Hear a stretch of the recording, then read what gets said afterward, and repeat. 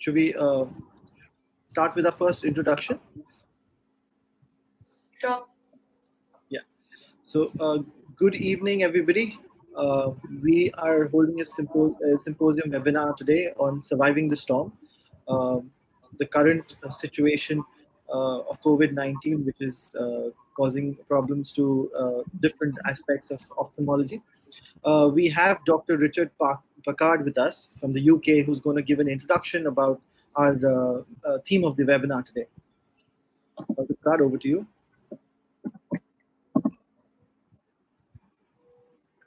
Thank you very much um, and welcome to everybody. I've got a little presentation here, so I'll bring that up for you and I'll talk to it. Uh, I know some of you in the morning, some of us in the afternoon, and some of you in the evening. So we'll uh, try and take a note of that.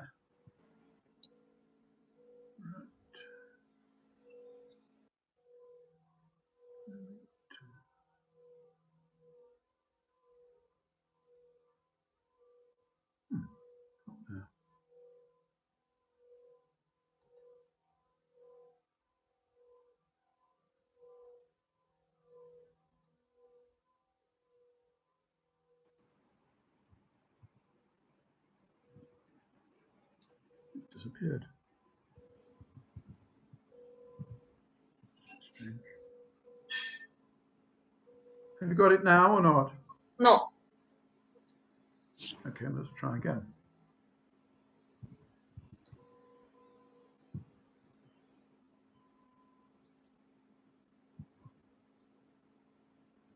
Can you just click on screen share once again, please? I have already given uh -huh. you the access though. Where's it gone?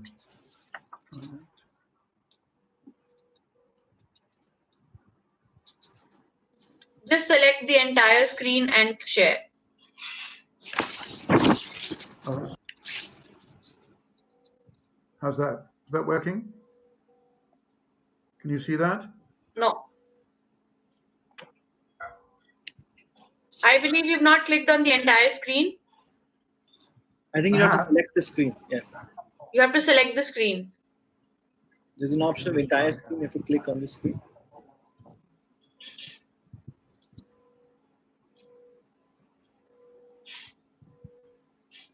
Yeah, now we see it.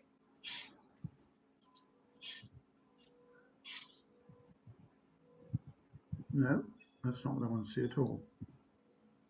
Yeah, we can see. Just say allow.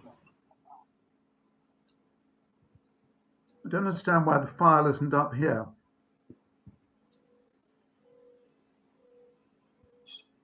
That's okay. I, I think you click on it manually.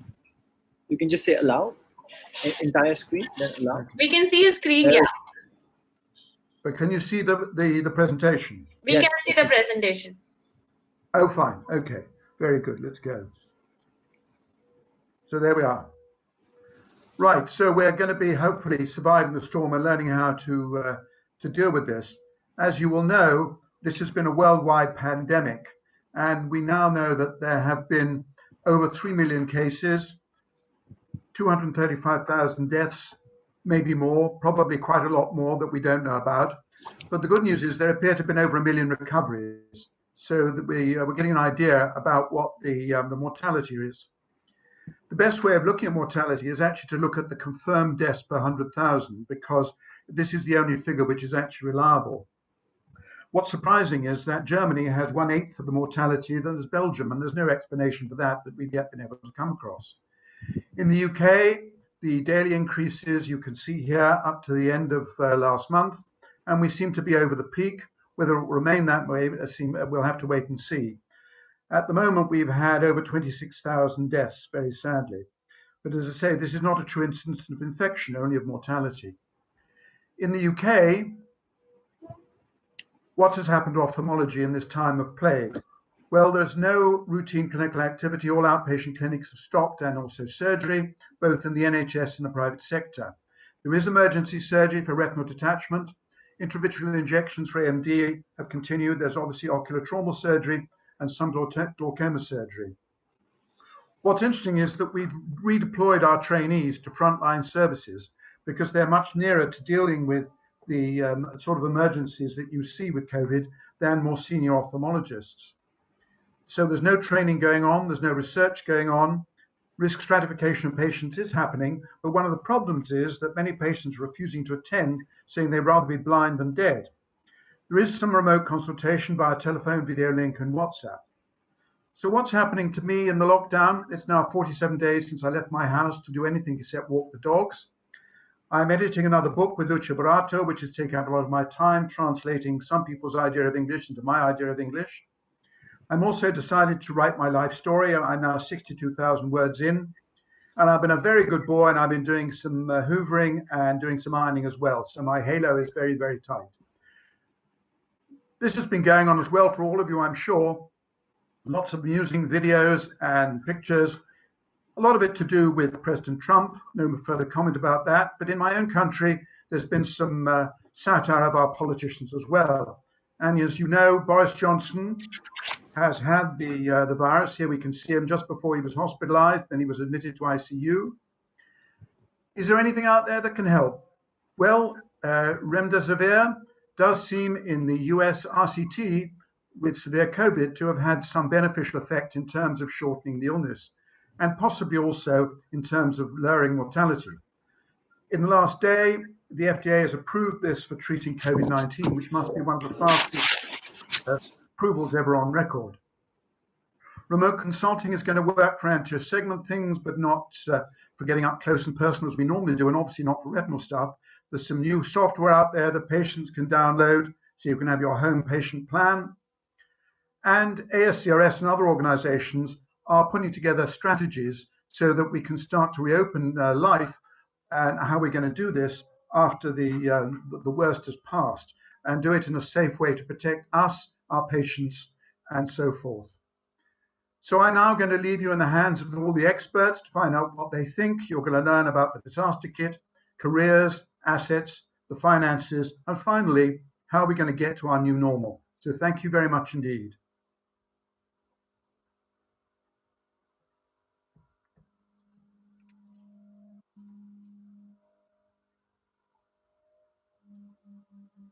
Did anybody hear that? Oh, can you hear me? Yep. Yeah. So, uh, would like to call upon now Dr. Boris uh, Malyugin, who's the director of Fedorov Microsurgery Eye Institute, Moscow, Russia. Uh, and we want to hear some words uh, about COVID 19 and ophthalmology from him now.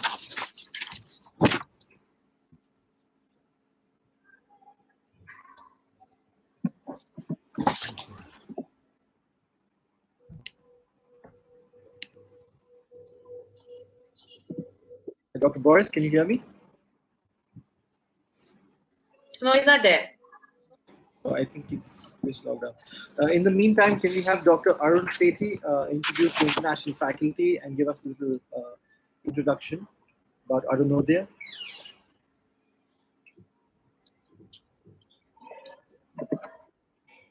Dr. Ahit, can you hear us? Yes, I can. Can you hear me? Yes. Perfect, perfect. There you go. So, Dr. Arun Sethi.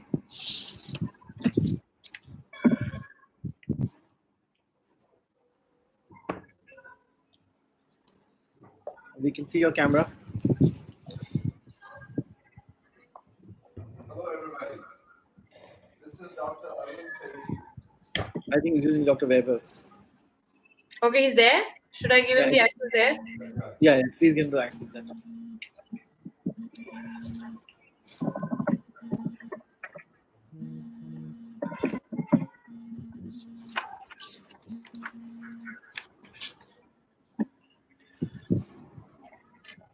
Yeah, there is. Dr. Arun, Yes, I'm on there. Yeah. you're on air. Hello, everybody. Nice to see you all, and thank you for joining us for this webinar called Surviving the Storm. We appreciate you giving us your valuable time and suggestions. The COVID 19 crisis has, is unlike any other. It's affected globally and it's brought the whole world to a stop. One of the offshoots of this is it's brought the medical practice to a stop, especially ophthalmic practice. So the idea of organizing the webinar today was to actually assess how will we go forward from here. There are a lot of views, a lot of ideas, and I'm sure that you'll all be able to give us those in a manner that will be both interesting and entertaining. I would now like to thank the eminent faculty that has agreed to come on board.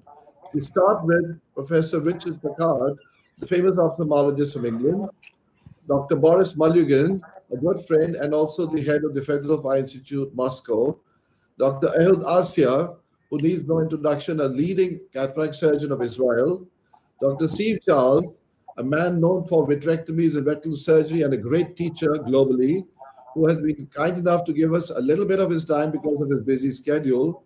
Having you with us is like having the jewel in the crown, sir. Thank you very much. Then I would like to thank Dr. Guy Kleiman from Israel, who's come all the way, mean, who's actually working with Dr. Assia in Israel and has agreed to be on our panel. Of course, we have none other than Steve Arshinoff from Toronto, Canada, a dear friend who's been traveling to India very often, but probably will now do more webinars. Mr. Dr. Hudson Nakamura joins us for the first time from the famous land of football, Brazil. So he will be followed by Dr. Gerard Chua from Singapore, the only country that they've been able to handle COVID 19 in an efficient manner, apart from a few others. Then we have the eminent, stylish Dr. Arun Gulani from Florida, a man who is known both for his expertise in surgery, his teaching capabilities, and his dress sense. Dr. Gerald Schultz, an old friend, will come in from San Diego, who is also at Loma Linda, and of course, the renowned Dr. Rosenbaum Jean Pierre from Paris in France. We also have them followed by Dr. Shmuel Lewandowski from Israel. And the last module is handled by the eminent Dr. Cathleen McCabe from again from Sarasota, who's a dear friend, and Dr. Ba Barbara Parolini from Italy. Dr. Barbara is a prolific vitreoretinal surgeon. She's in Milano in the heart of Lombardy district, which has seen the maximum number of deaths of medical uh, personnel in Italy. She has had personal experience. Her husband is an interventional radiologist who's working with COVID patients. She's seen many of her colleagues pass away in this uh, pandemic, and she will bring her personal views onto the thing.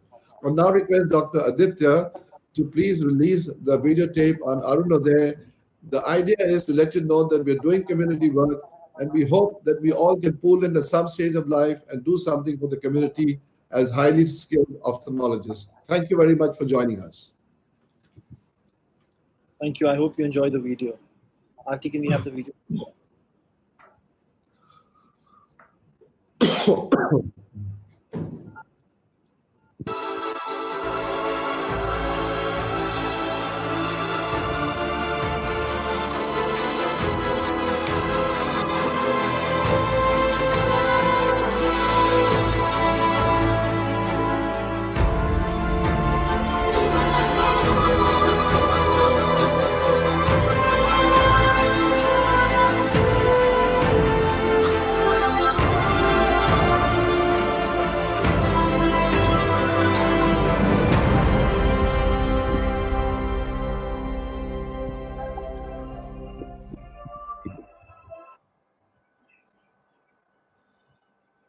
Thank you.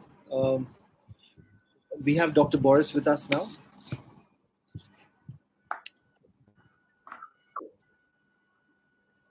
Yeah, he's there.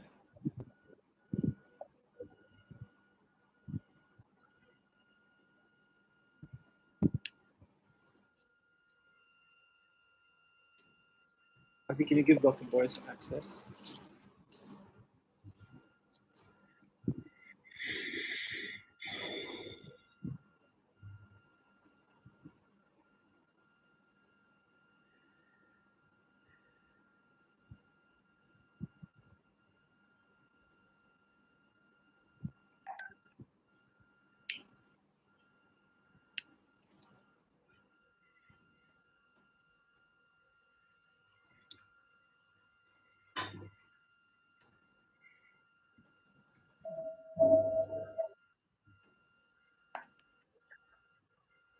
Hi, Aarti. Can you hear me? Is Dr. Boris there? He's not there. Okay. So um, after the introductions, uh, we're going to proceed to the first module. Uh, the first module, the, the speakers for this module are Dr. Ehud Assia from Israel and Dr. Steve Charles from the United States of America. The first module is titled Preparing for the Disaster Kit and is to be moderated by Dr. Boris uh, when he arrives. And uh, the team leader would be Dr. Guy uh, Kleinman for, from Israel, who's going to be asking all the questions. So uh, I think we can go ahead and have Dr. Ehud uh, with his uh, lecture. Yeah, I would like to, um, let's see, do you see uh, my video, my um, sharing? Yes, we can. Can you see my slides? No, we don't. We can't see it. Please select the screen and click on share. Okay, I'm see, can you see it now? Yes. Yes, we can. Okay. So can you see and hear me well? Yes, we can. Okay, so I will, I will start with the first presentation, and I was asked uh, to talk about preparing the disaster kit in the perspective of the anterior segment surgeon. I'm uh, from Israel, and uh, as you see in the photo, unfortunately, what we cannot do today is spend some time with our grandchildren. Now, with one more. And uh, uh this is uh, COVID-19 in Israel. This is our current situation, updated several minutes ago. Altogether, we have 16,000 uh, people which were infected, and uh, 9,000 of them were recovered already. Uh, severe cases, 1% on respirator 84, which is uh, not too bad.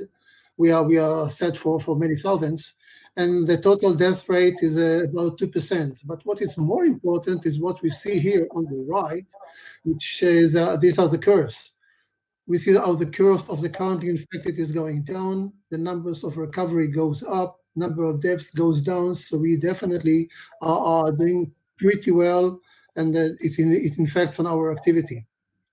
Now, so what do we do in terms of uh, uh, opening our clinics and working? Uh, I guess that what I'm going to say now, everybody is doing the same. So just, since I'm the first speaker, I will just briefly review it.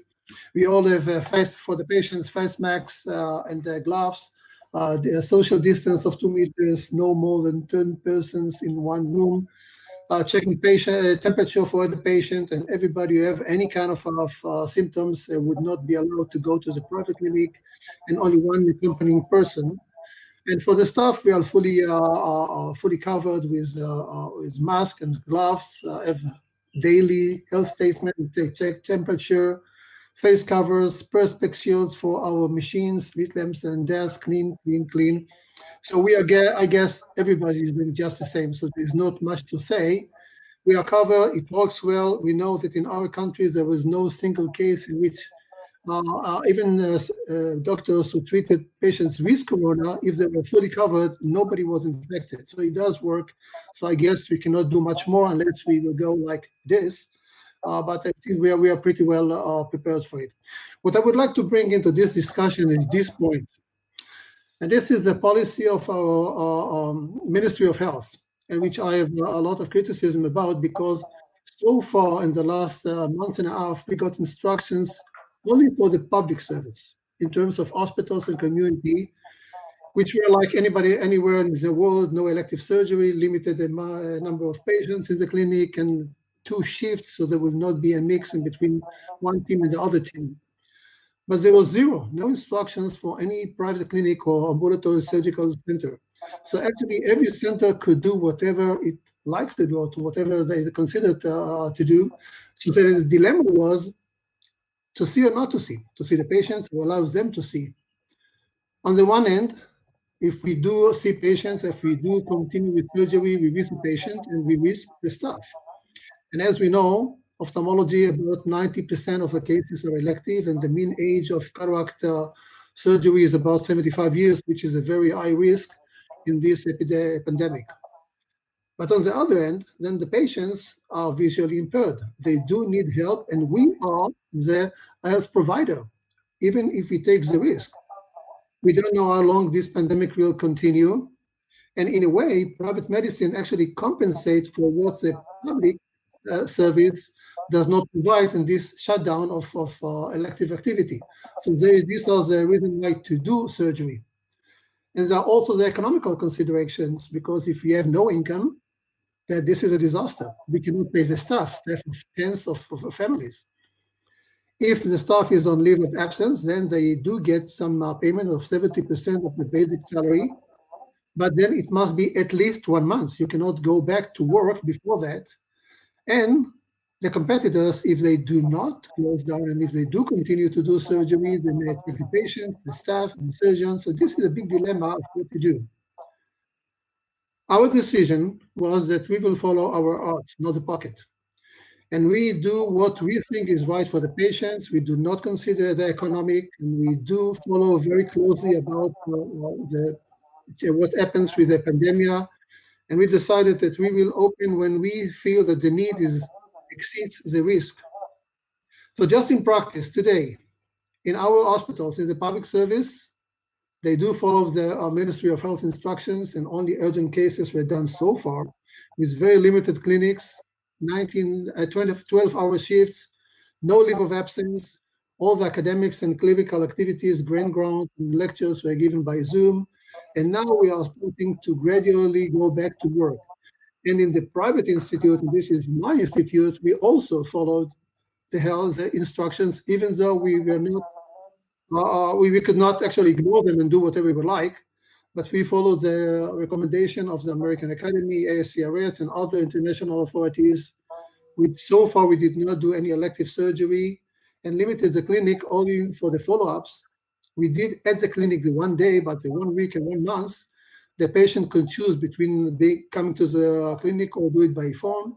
In the beginning, it was about 50-50. Now it's more 90% of the patients prefer to come to the clinic Last week, we started with a gradual return to the OR and then open the clinics. And then next week, starting tomorrow, uh, we do open all the clinics. And uh, we know that the pay, patients are still reluctant to come, but we do open up and go back uh, uh to work. Maybe it, uh, it's a bit fast, but uh, we, we must do it after a month and a half. So I would like to open to this discussion who should be the one who makes the decision? Should it be the, the, the government, the Ministry of Health, or should it be institutional? Should it, we consider only medical considerations or also economical, social, moral, and so on? And uh, thank you very much for the opportunity uh, to speak here today.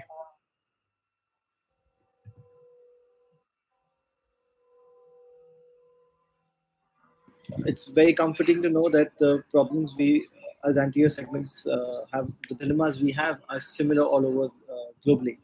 And uh, we are looking forward to the discussion to this topic. Um, I would request Dr. Vaibhav Sethi to introduce Dr. Steve Charles. and in the meantime, Aarti, if you can get his slides to talk. Uh, Dr. Ehud, can you please stop sharing the screen? Yeah, I did. Thanks.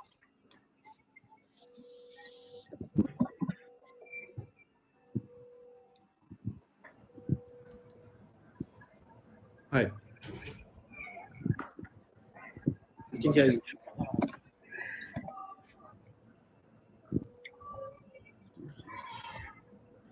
Yes.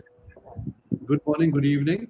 Uh, this is Dr. Vaibhav Sethi, and I'm, it's my honor to introduce Dr. Steve Charles, who's the founder of uh, Charles Retina Institute, Memphis, Tennessee, USA. And he'll be speaking on the posterior segment perspective of preparing the disaster kit. Thank you over to Dr. Steve Charles. All right, let me share my screen here. Can everyone see the screen? Yes, we can. Okay. Um, well, I was asked to comment a, little bit about what I've done during the shutdown, lockdown, and and uh, I I live alone in an apartment, so I instead of going to restaurants, I I've learned to cook, and it's absolutely the lowest possible skill. Um, so I'm on the diet. If it tastes good, spit it out. Um, so I work out like crazy. I have a, a, little guest bedroom at my apartment, so I have a bunch of weightlifting equipment in there. So, but but I don't believe in entertainment, movies, hobbies. I only work. So I've done a lot of engineering. I've got over 100 patents. So I spent a lot of time teaching myself photonics and optical system design and control theory during the time. But clinically, we're seeing uh, about half as many patients. The patients wait in the parking lot with their cell phone. We call them in one at a time for workups. Uh, so although we have a waiting room that will accommodate 190 people, at any given moment there might be eight or ten in this large waiting room and all separated uh, by well more than uh, two meters. And so they're called in for a workup by the technicians go back outside called it again just for oct and imaging go back outside call back in to see this physician and then go back outside and call in if they're getting for example a pneumatic retinopexy a laser or an injection we've continued to do all not just the AMD injections, but the diabetic macular edema injections and the retinal vein occlusions, and of course we see histoplasmosis here. So injections have continued. Um, it uh, with respect to surgery, the I usually do about 18 vitrectomies a week, uh, maybe 20, uh, and it's down to 10. Uh, so it's non-elective. So vitreous opacities, elective silicone oil removal, things like that are, we're not doing. But obviously, we're going to repair retinal attachments. Patients that are blind from vitreous hemorrhage, uh, even though I recognize that could clear if they're bilaterally blind from diabetes to vitreous hemorrhage. Uh, some trauma cases uh, dislocated lens material if it's causing a pressure increase after someone did cataract surgery before all this started. That sort of thing continues to, to go on. The uh, I think we know these. Uh, our country has uh, the worst possible leadership at the president level imaginable, uh, and that has influenced our care. It's delayed uh, testing dramatically. It's delayed availability of testing materials, of the protective equipment. Uh, it is uh, absolutely horrendous leadership from, from President Trump. We have great people like the CDC that are being held back and like uh, Anthony Fauci at the NIH who are bright and would do the right thing if they would if it wasn't managed in, in a re-election narcissism mode. So having said that, uh, we know that we all of us are trying to take the same sort of precautions worldwide. I'm sure, as Dr. Packard uh, pointed out, uh, as as well as uh, our friend from Israel. Uh, they the reality is that although we take a history and take and uh, take the patient's temperature non-invasively, uh, patients are, uh, transmit virus uh, for at least five days before symptoms. So all of these precautions listed on this slide are, are basically uh, necessary but not sufficient.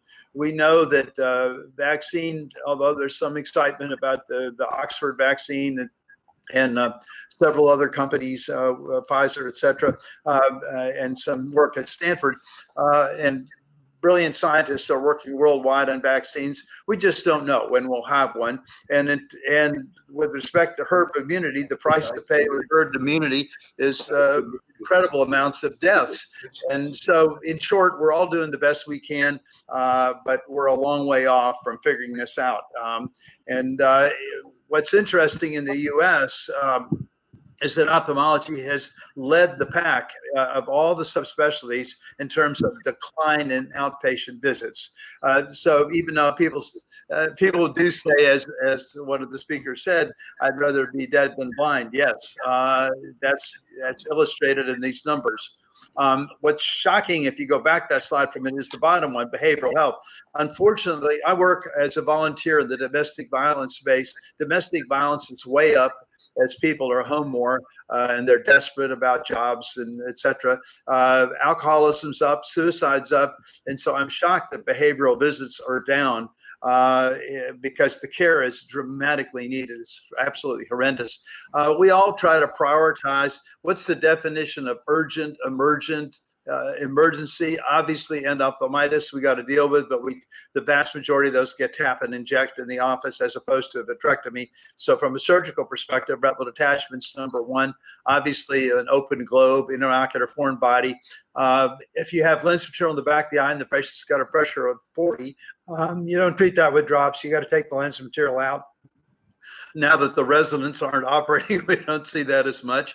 Uh, patients that have a retinal break from a PVD or other reason um, are going to require laser retinopexy, but that's we do that in the office.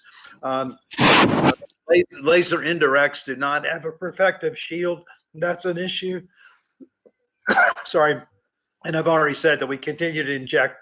Macular holes are not as time sensitive. You get good visual recovery months down the line but it's bilateral. It really affects their their quality of life. And so I have done some macular holes and a few really bad epimacular membranes.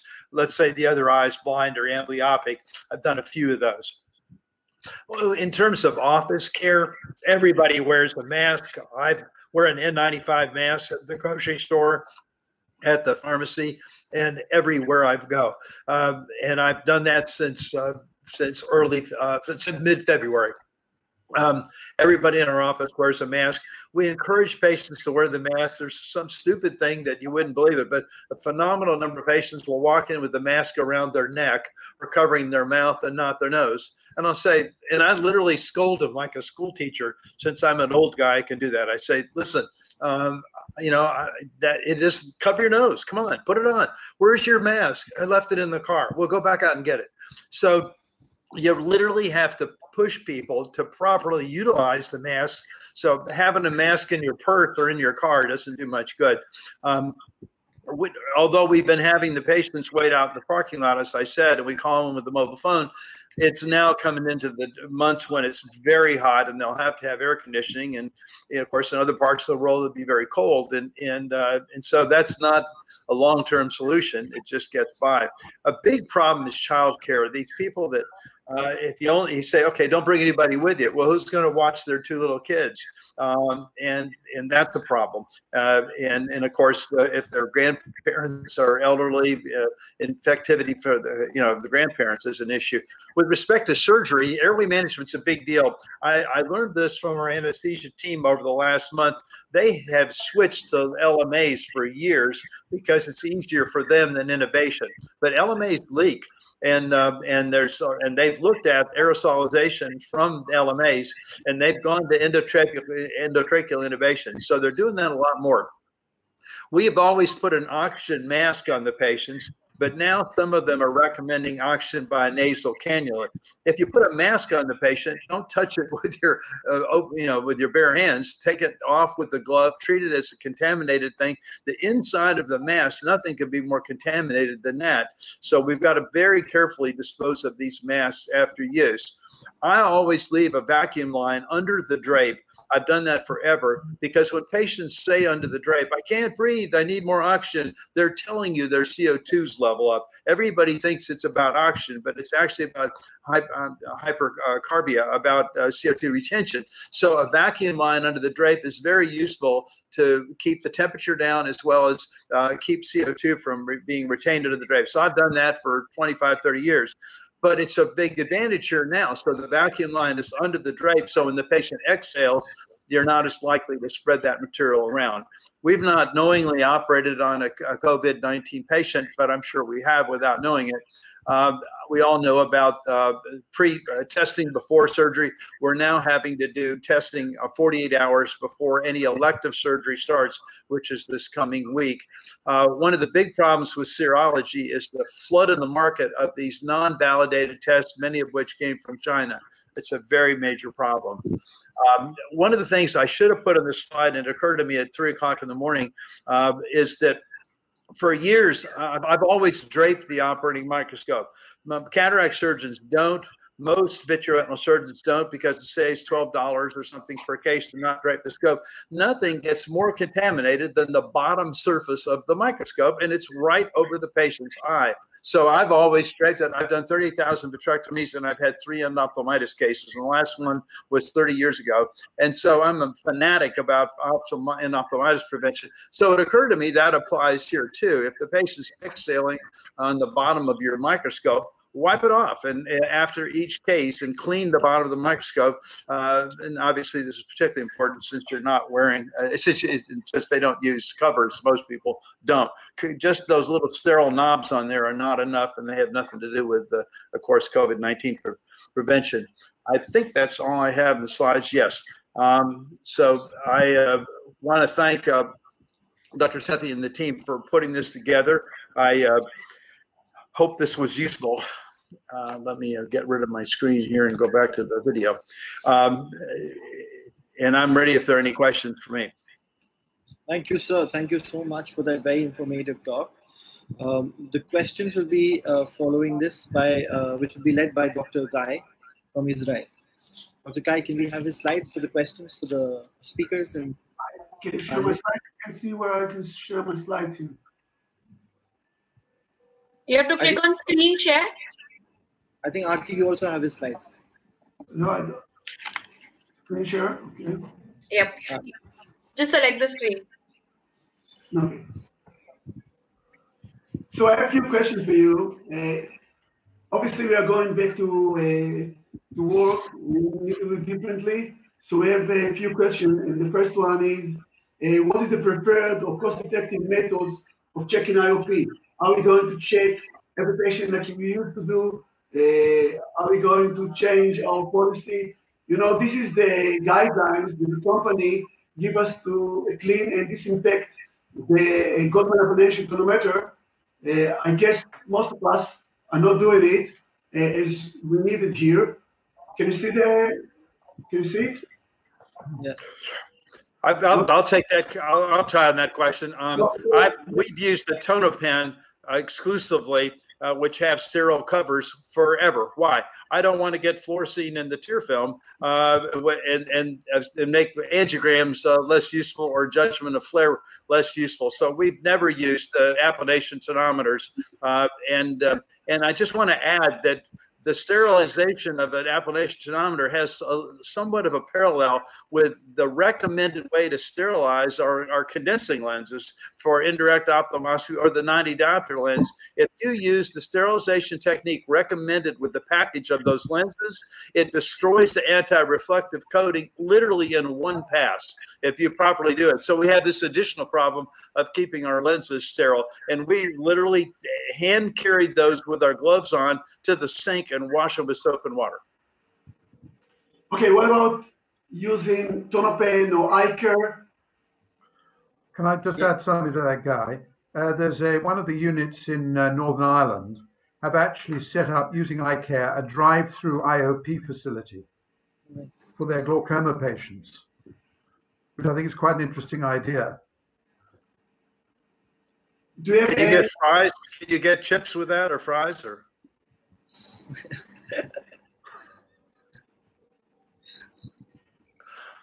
I think even iCare is uh, quite a reliable tool there. I think we have the next question. What what I do uh, uh, personally in most cases, I do use uh, the applanation tonometer, but I do not use the fluorescein. Actually, it's even easier to do, and I wipe it very very carefully. Puff tonometer is an option, but puff tonometer actually may even spread more of of uh, the tears. So this is probably not a very good idea. But just uh, a a very aggressive cleaning after using uh, applanation tonometer without fluorescein for me, it works very well. What about this uh, single-use cover for the applanation tonometry? Uh, can Well, you actually, my, my, my very first paper in ophthalmology was in regard to uh, to uh, immediate disinfection uh, of adenovirus. And uh, what I did, I uh, I actually used that you can actually create a cover by uh, using a Parafilm. If you take just a small Parafilm and, and wrap it around the tonometer, you actually create a barrier. You measure the pressure; it's almost the same. You can see very well, and just, just take it off and throw it away. So it does work. I did not uh, do it in the, during this pandemic, but this is an option. A very simple way to improvise a cover. So, so there is a commercial uh, uh, product now. If you can go two slides back, which is a another one back, another slide back. Here, so a, there is a commercial uh, product. You can put it on your Goldmann tonometry and use it, and then just uh, it's one it's single use. And we can use this one, and this can maybe help us because we know that there are some report about virus in the tear film, and we surely don't want to infect our patient. And what's more uh, worried is that some of them were asymptomatic, and you can have someone that is asymptomatic with the virus in his tear film, and you don't want to uh, infect the other patients. So let's go to the second question. You can go one slide. Okay. So what about our room? How to disinfect the operating room, theater, in between surgeries? Air conditioning is enough. Air purifier. Uh, I saw a nice uh, uh, uh, idea from uh, Pavel Stodulka from uh, Czech Republic about how to purify his uh, waiting area. Any thought about this one? The air condition is enough? we have a relatively new clinic uh, surgery center rather and uh, and it has uh, it was developed for interventional radiology originally and that actually has very high airflow and and quite good filtration it's not negative pressure which would be the best uh, but we've not evaluated these uh, air purifiers. One of the other options, and the problem there is that that they really don't. Uh, uh, um, what's the right word? Uh, they really don't evacuate the air from the entire room. They're more local where they work, and so I'm very skeptical of that those have much of effect throughout the room. Uh, there's another option, and that's these ozone emitters that um, uh, uh, uh Doug Mastel that makes the diamond knives as well has been working on, and I've, I've not evaluated those. And then there's also this idea, uh, at least for intubation, of this plastic shield like a glove box with two holes for your arms to do intubation, uh, which is one of the highest risk uh, parts of the procedure if you're going to do general endotracheal anesthesia. Okay. Any comments? Um, yes, I think that uh, we should not be very hysterical about this uh, cleaning and disinfection. I mean, this is endless. We, we can always do better and better, better and better, but it works we see we do not see patients being infected uh, with endophthalmitis. We don't see patients infected with uh, adenovirus or of uh, influenza or any other disease. So why should it be different for for this uh, pandemic? Uh, if we clean the room, in any case, we use all disposables. We do it in the right way. I think that what we are doing routinely is good enough, and we should not be hysterical and add more and more and more. It's endless. I agree. Okay, let's go to the next question. Okay, do you think we'll do different protocols for open globe injury versus cataract surgery? What will do different? If there's any difference between them. I, I, I don't think I would do anything different. I mean, if it's open globe, it must be operated, period even if you take a risk, if you take any risk, it must be operated, the eye must be closed. I would, uh, uh, in this case, as you show here, I would also remove the cataract if needed. I would do the whole case. This is the case in which you can ignore any other consideration and you do the case. This is not elective, this is urgent. You must do it and you do the, the way the medical uh, uh system uh, directs you to do. I agree. And I just add the point that historically people have always used general anesthesia, the general endotracheal anesthesia for open globes. But there are papers in the literature. Dean Eliott from Mass Ear, who's a big expert in trauma, uh, will tell you that local anesthesia is just fine in these patients. You could do a retrobulbar block if you're very, very careful, or you can infiltrate a bit at a time around the muscles if you're afraid of putting pressure on the globe.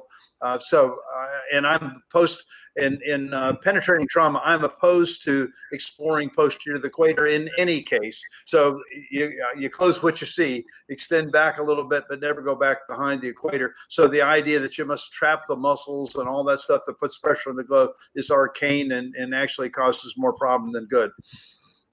And if I can add from my uh, own experience, uh, uh, oftentimes we do these cases under uh, local anesthesia subtenon can work very, very nicely and it's very gentle. You don't even do need to do a peri-bulbar or retrobulbar, which is blind. If the eye is closed, if there is no prolapse, if the if the anterior chamber is is maintained, then I would uh, easily do subtenon anesthesia and it works very well. Absolutely.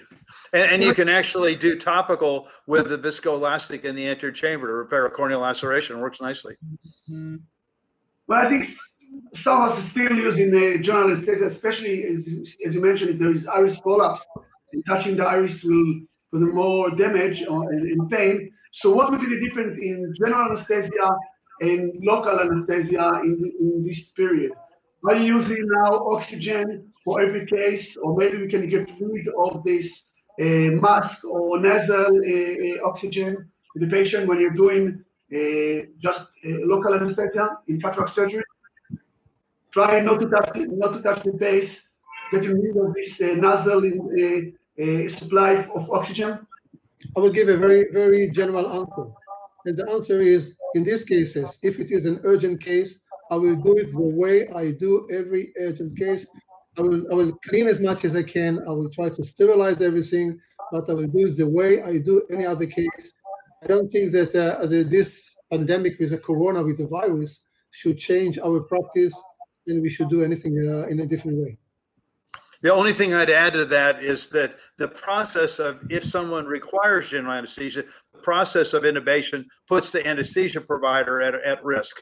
And so uh, their their face mask, their gear, uh, and, and either these plastic shields, uh, switching from uh, LMAs to to ET uh, to intubation, as well as the extubation part, that's important. But in terms of risk to the patient and other people in the room, I agree with you. It's no different.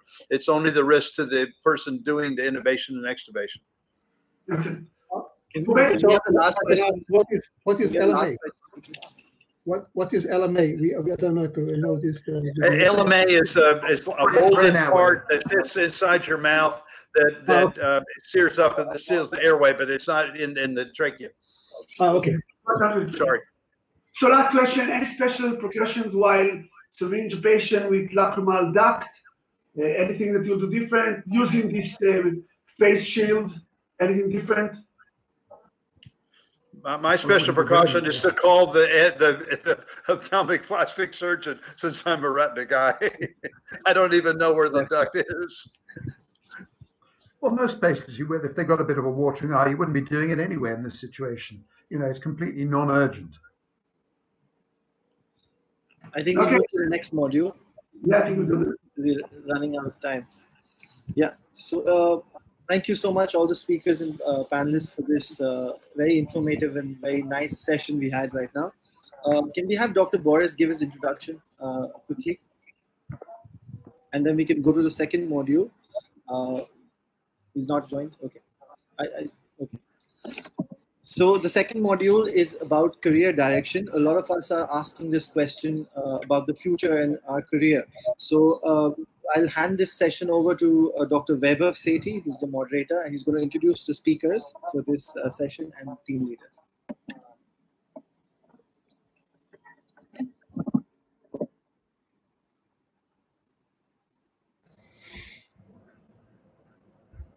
Dr. Richard, can you just exit and relog in? Uh, Dr. Ehud, you too. Just exit and relog in, please. Thank you.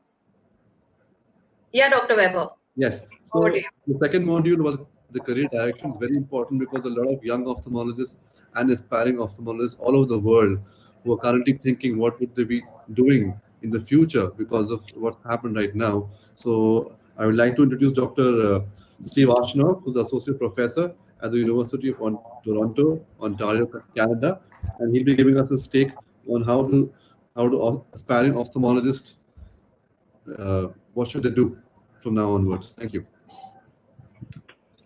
Okay, well, thank you very much. Uh, let me just uh, share my screen. I would like to take a rather more positive uh, attitude than we've been hearing so far. Can you see my screen? Yes, we can. Uh, we can't see your screen. Okay, so um, we always hear negative things about pandemics, but let me maybe be a bit humorous or change the attitude a bit. So when I first heard the assignment of this topic, it reminded me that many years ago in 2002, I was asked to give a lecture to a kindergarten class on what an ophthalmologist was because the school thought that my job was unusual.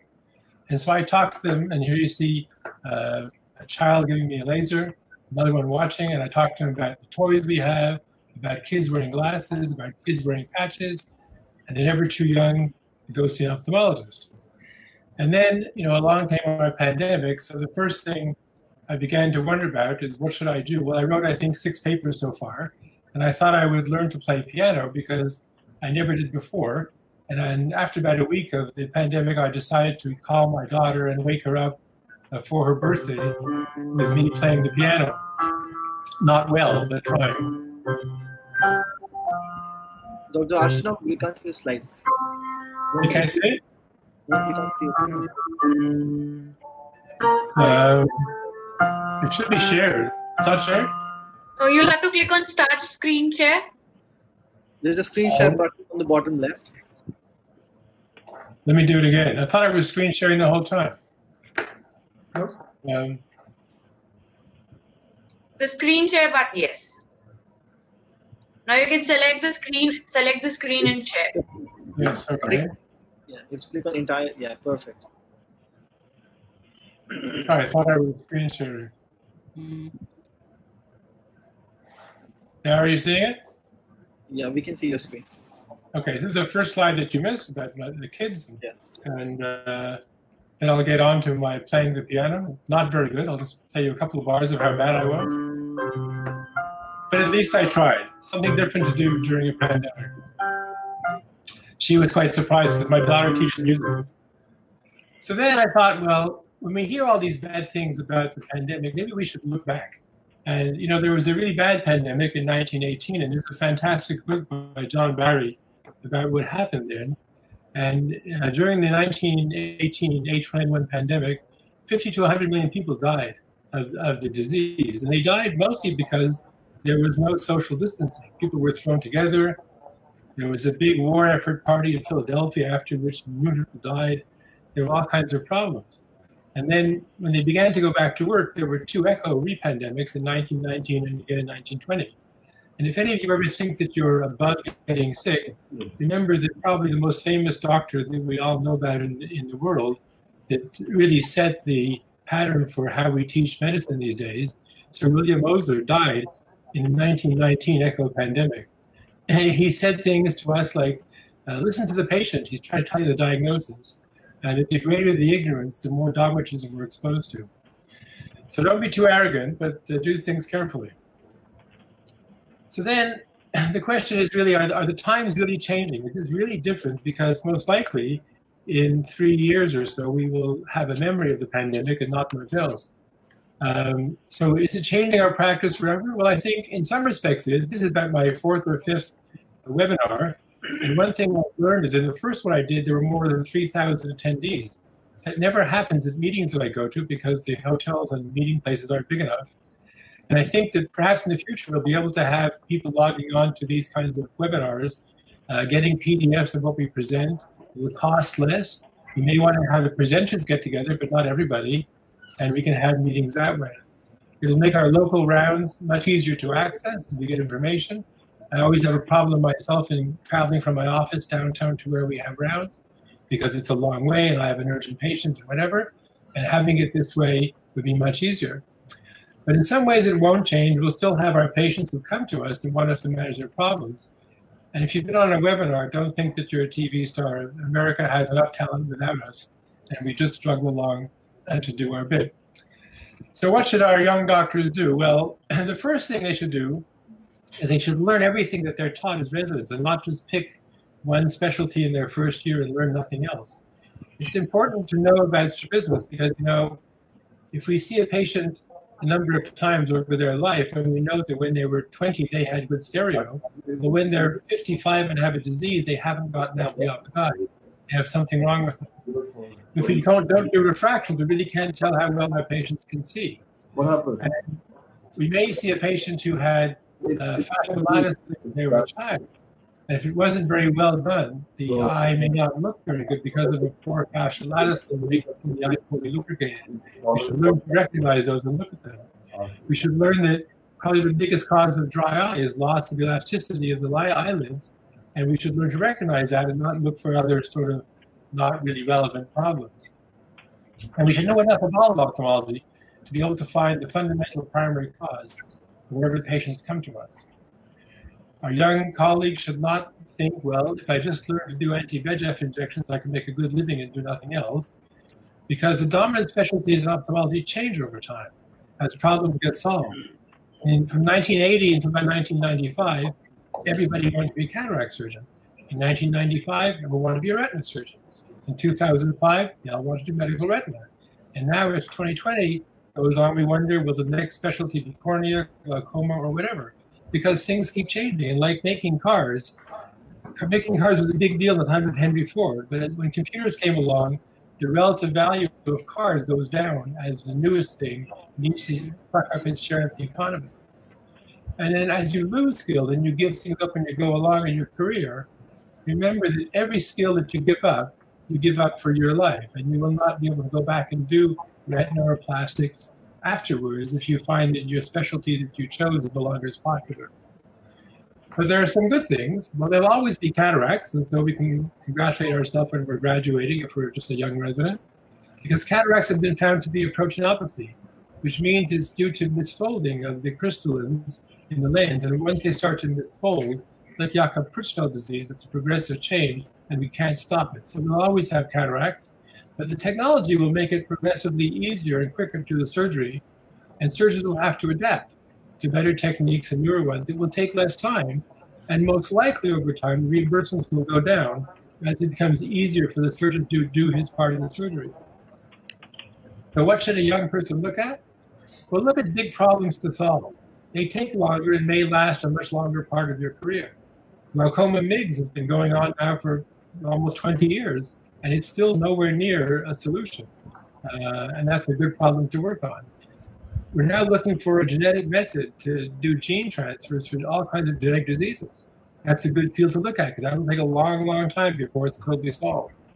And now that we have a pandemic to remind us that, well, maybe infectious disease is a good problem to look at. We're trying to uh, solve the problems of endophthalmitis and lots of corneal diseases, resistance to antibiotics, and numerous problems in that. So that's another thing we can look at. Basically, we have to learn to do everything and then pick something to be very good at. My advice is that when you're an ophthalmologist, you know how to do everything, but have something that you're really interested in that makes you interested and want to keep practicing and doing more things. Because when a patient walks in the door, you have to be able to select what they actually have and not just say, well, it doesn't fit into my small bailiwick. But I think generally, generally things are positive. COVID 19 is not the end. Uh, it doesn't stop you from reading or learning or doing something else during the time that we're locked down. And like the Blue Nose, which was thought to be an end of the line sailboat when uh, Nova Scotia decided to stick with wooden boats and not go into fiberglass, it turned out to be the dominant sailing yacht for many, many years around the world and still is used for tourists and things that has a large, uh, very good longevity. So, like with the great influenza, COVID 19 will end, and we have to plan for a rewarding, bright future and make sure we remain educated and interested in doing more things.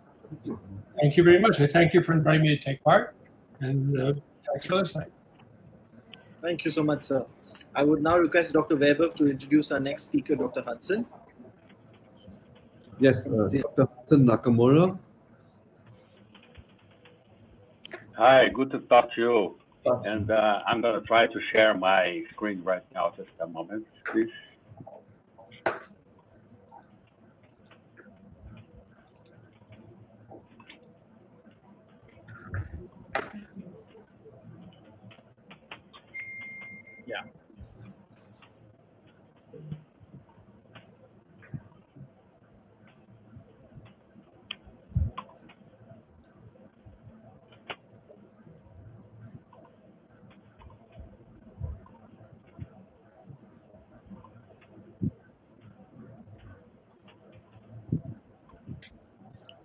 Sorry, let me try to share again now. Yeah.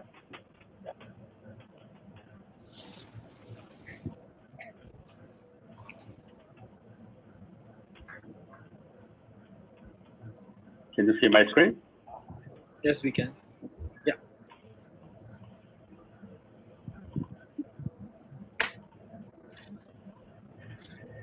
Yeah, surviving the storm, COVID-19 report in Brazil here, and uh, I want to I want to thank everybody, especially Dr.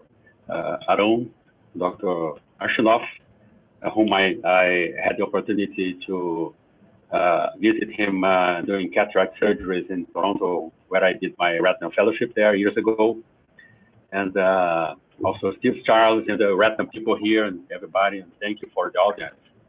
And uh, we are at the uh, Eye Bank Foundation of Goiás, Brazil. And uh, this is our flag.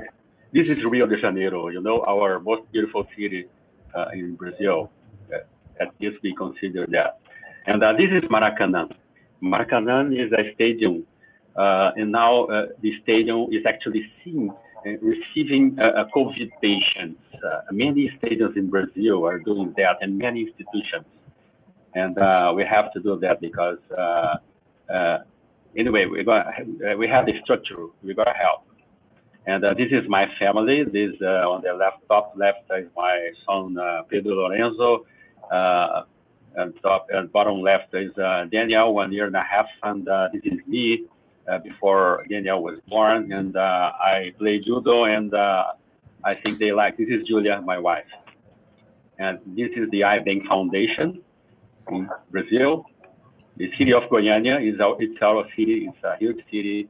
1.6 million people live here and uh, this is uh, from downtown down below.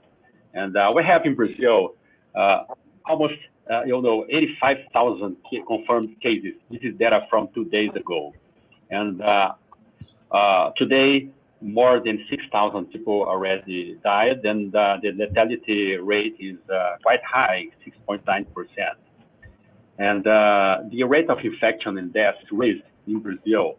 Uh, this is uh, info from our health minister.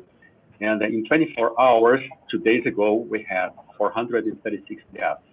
And uh, we think that's due to subnotification. And uh, in uh, uh, April 28, according to Johns Hopkins, we were classified as, as the 10th in the world, sur surpassing China in confirmed cases.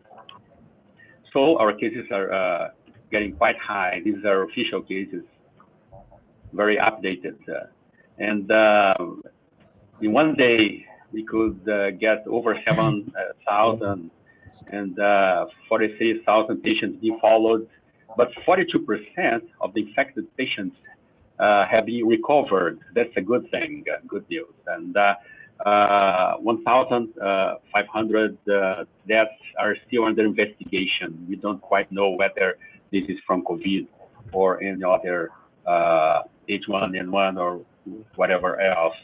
And uh, our total number of deaths, it's uh, from two days ago, uh, it's almost 6,000, but today we have 6,000, 6,100 approximately.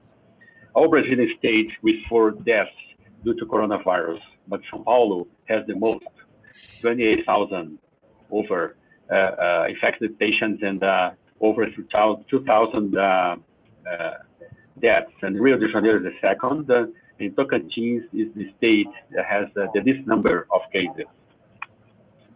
And the, the number is increasing every day. But we are getting to the winter now, and I particularly live in uh, near Brasilia, the capital, so uh, the weather is still okay. And uh, many people are getting infected. The male and female rate is uh, quite the same. And most of the cases uh, hospitalized for uh, respiratory distress and problems are SARS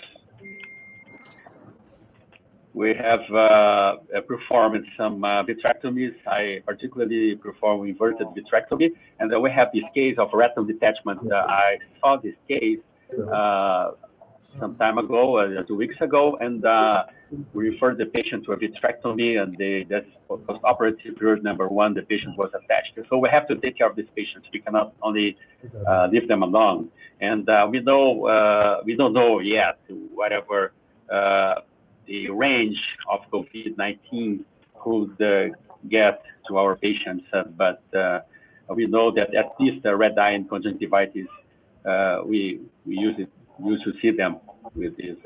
It, that's from Pi Magazine. And this is a report we made with Dr. Wai-Ching Lam from uh, Hong Kong. He was in Toronto some years ago, and uh, also Dr. Arun. And uh, we uh, we have less patients to see now, down near the 60% in the surgeries uh, as I compare with uh, what Dr. Steve Charles is doing. We are doing far less surgeries, but we're still doing uh, detachments and vitrectomies, but uh, in some cases of uh, long-standing macular tractions that we have to do because the, the retina cannot wait.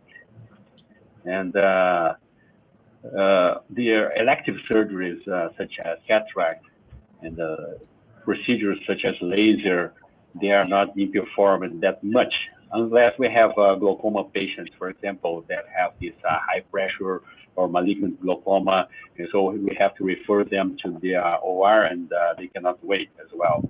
So we are doing our best, and uh, I have a video to show you as well, a short one on uh, what we do at the Eye Bank Foundation, the vitrectomy. Let me get it in the screen here.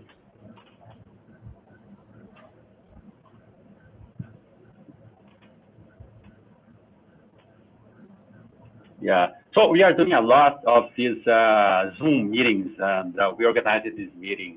This is a, a ret, uh, uh, internal limiting membrane peel for a macular hole surgery. Of course, this is an elective procedure, but uh, we got an OCT and uh, we, we saw that uh, the patient couldn't wait too much until this uh, crisis could uh, be over. Otherwise, he would uh, probably get blind. So the outcome wouldn't be as good. So we have to take care of these patients and do our best, as I said. Thank you very much for your attention. Thank you so much, sir. Uh, our next speaker is Dr. Gerard uh, Chua from Singapore, who's going to talk about uh, young ophthalmologists and their career. Uh, thanks, uh, Dr. Arun and uh, Dr. Aditya for inviting me. Can you hear me? Yeah, yeah we can. Okay. We can. Well, I'm wearing a red T-shirt because uh, Singapore, we are basically DORSCON red. As you are aware, DORSCON is uh, the disease uh, outbreak response system. But in Singapore, we call it the circuit breaker. And I'm very flattered that you called us a young ophthalmologists. I graduated in 1988, 56 years old. I did my vitreoretinal fellowship with uh, Prof. Robert Devenyi in Toronto and uh, I've done uh, 3,000 vitrectomies, 23,000 cataracts. I don't know how many lasers, but it's flattering. Thank you so much. Uh, okay, we are from in sunny Singapore. Could I have my slides, please?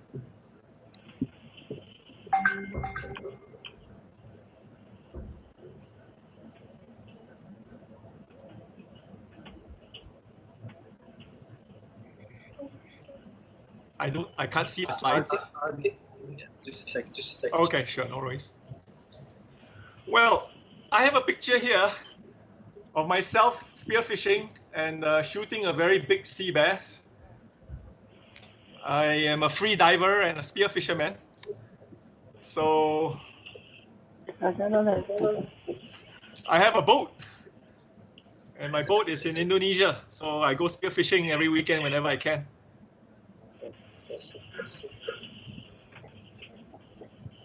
Okay, great.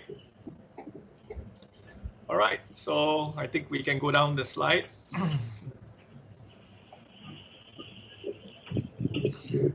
um, okay, let's start. So the Singapore, we've had about 17,000 uh, COVID-19 patients. And uh, this is not the first pandemic that I've been through in Singapore. Um, I went through the 2003 SARS. I went through the 2009 H1N1. And uh, for us, we are quite used to this. I still have my N95 mask from uh, 2003, and uh, we still have a large stash of all the masks. We still have all our personal protective equipment. Uh, the total number of deaths so far has only been 16 which is uh, actually very low compared to the total number of patients that uh, have been diagnosed as positive for COVID-19, which is about the last update was 1st of May, yesterday, 17,101, and only 23 in ICU. And uh, just to let you know that Singapore, even though we are a small country, we have about 5.7 million people. Now, a lot of a lot of questions have been asked why our number of deaths and the number in the ICU have been quite low. And uh, I think it's because we were prepared. We have a National Center for Infectious Diseases, which has about almost 200 ventilators. And uh, we have about 350 ventilators throughout Singapore. We've been prepared since 2003. So when uh, we started to detect the number of cases, we quickly scaled up from DORSCON yellow to DORSCON orange. And uh, it was like within a month that we scaled up to DORSCON red. But we don't call it DORSCON red because it causes panic. And Singaporeans all rush to the supermarket to buy toilet paper. I don't know how it is in other countries, but you know they like toilet paper too. Uh, so yeah, we we had a big run on toilet paper and uh, rice and noodles, so it was not very good. Uh, so we call it circuit breakers in Singapore. Can I have the next slide, please?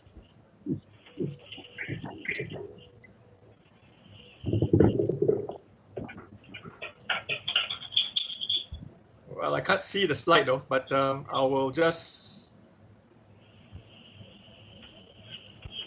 It doesn't seem to come out Dr. very well. Hartman, can you, Dr. Hartman, can you please mute yourself? Dr. Hudson, you need to- you need to mute.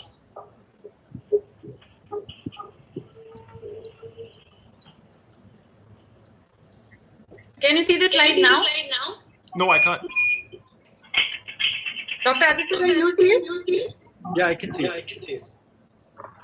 Okay. Well, I'll just read it then.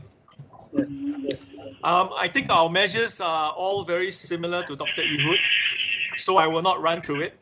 Very, very similar. Uh, triage, and uh, all patients will have to fill up a questionnaire. They have to wear a mask, and they are only accompanied by one person. So I think it's quite similar throughout all the other presentations. I think the it's also similar that we will not there's actually a distancing practice in my center. We have to have at least one meter apart for patients and uh, not more than 10 in the waiting room. Now, I think the only difference is that over here, yes, we have a large population of foreign workers. And uh, these foreign workers are housed in very large dormitories and we had a large cluster of uh, cases that happened with these foreign workers. And so that led to a large spike in cases of almost uh, 8,000 of them being foreign workers uh, because they are housed in dormitories and uh, it spread very quickly among them. But they're all very young, very healthy, and uh, so far none of the foreign workers have been in the ICU. So I think it teaches us that unfortunately COVID-19 targets mainly the elderly. If you look at the mortality data from China, those above 80 years old is almost 14 to 15 percent, and those between 60 to 69, it is about uh, 8 percent. So uh, can we go to the next slide, please? I'm sending you the slides, uh, Gerard, Oh, okay. All right. through So I your, can just handle it. your yeah. WhatsApp. Okay, thanks, thanks, thanks. Okay. Oh, Now we we have yeah. So I'm gonna run very quickly through this because it's about the same for almost all the other presentations. All non-essential eye consultations have been deferred. Um, and uh, my clinic is a vitreoretinal clinic. I have an operating theater with uh, two machines, uh, one Alcon Infinity and one Alcon Constellation. We have the full laser equipment, uh, the Alcon Pure Point, and uh, with the indirect laser system, we do a lot of uh, intravitreals. Uh, on the average, every week I do about 15 procedures, and um, but because of DORSCON red, unfortunately the number of cases have been reduced very significantly. Now we are only allowed to see emergencies, no non-emergency cases. Uh, patients must fulfill certain criteria, sudden loss of vision, floaters, photopsia, uh, you know, the usual uh, retinal uh, symptoms. And uh, all the cataracts, all the gradual blurring of vision, all stable cataracts. Unfortunately, the Ministry of Health, uh, unlike Israel, we, the private clinics and the government clinics and government hospitals are all issued the same directives. So no patients with non-essential uh, conditions are allowed to be seen, and uh, all stable cataracts have to be postponed. All stable glaucoma patients cannot be seen. Now, as for vitreoretinal patients, uh, again, for our staff, at the triage, again, I think it's standard. All the patients, all our staff have to wear a mask. Now, if there's a high suspicion of a COVID-19 patient, they have to put on an N95, goggles, and a gown with gloves. But so far, because I'm not in a hospital, I'm in a hotel. My clinic is actually in a hotel. Uh, we do not see any of such patients. They mostly go to the infectious disease center, which is in this hospital called Tan Tock Seng Hospital, next to the infectious disease center. Now, there's a bit of controversy for the local Singaporean ophthalmologists because so far all the recent studies have shown that the there have only been two studies that showed there was viral uh, RNA material that was picked up in the tear film. But there were several studies that did not, and they suspect that it is because it's not because it's found in the tear film, but because it either goes up to the nasopharyngeal area and to the nasolacrimal ducts, and therefore when they swab, they pick it up. So some of us still do air puffs, but some of us have switched totally to tonometer. Um, I think this is still subject to uh, um, what I would consider more studies. Now, for us vitreoretinal surgeons, in my operating theater, uh, we clean. I have six HEPA filters installed, but I do not have uh, positive pressure ventilation. Uh, but we have six HEPA filters, which more than satisfies our Singapore Ministry of Health requirements. And uh, for our retinal cases, I've done about two vitrectomies uh, recently. Uh, we are told for in the intubation period and for the extubation period, the anesthetist and the circulating staff in the operating theater have to wear full PPE. But for us eye surgeons, I have to be outside the operating theater. I do not come into the operating theater until the full intubation or extubation is uh, completed. Now, as for the draping, uh, it's still the standard draping. We don't do anything different. Now, the deep cleaning is done between cases. So, uh, but now the number of cases are not many, so it doesn't make much of a difference.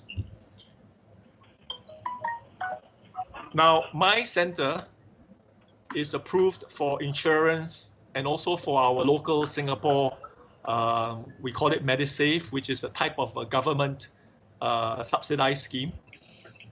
So we are fully equipped. I have three months supply of N95s, three months supplies of surgical gloves, three months supply of gowns. Uh, we are very, very, very well equipped. Uh, but the only thing that uh, probably, which we, uh, I would say, maybe we need to order in the future, um, maybe surgical packs, because right now, uh, unfortunately, all non-essential businesses are not allowed to carry on and uh, all the big pharma companies like Alcon, uh, they are not able to deliver to the clinic. So we have to stock up on surgical packs because I have a constellation. So in my operating theater. Okay, I think that that's about it. And uh, thanks again for inviting me.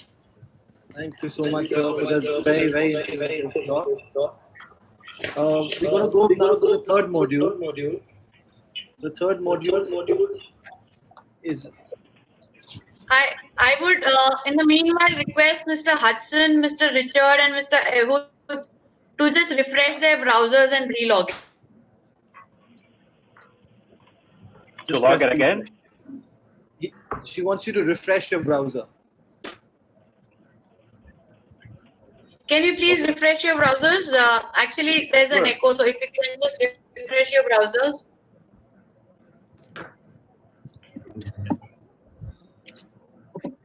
so the third module, uh, can I go ahead, Arti? Yeah, I'll just have the panel on call.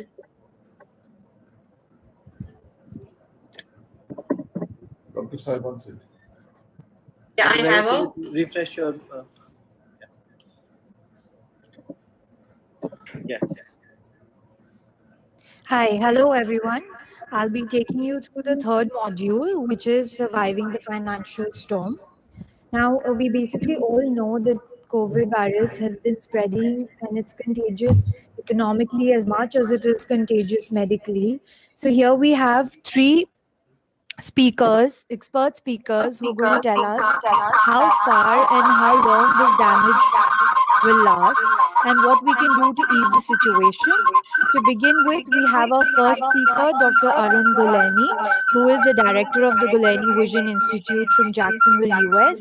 Now, this talk will be followed by the talk by Dr. Gerard Schultz, who is an associate professor from Loma Linda University, California, US, followed by Jean-Pierre Rosenbaum, who is a medical director of Vision Ost Paris, France, and also a consultant at National Center of Ophthalmology, Paris. Now, these five minute talks will be followed by a quick five minute panel discussion by Dr. Uh, Ehud Assia. So, we will start with uh, Dr. Arun Gulani. Over to you, sir.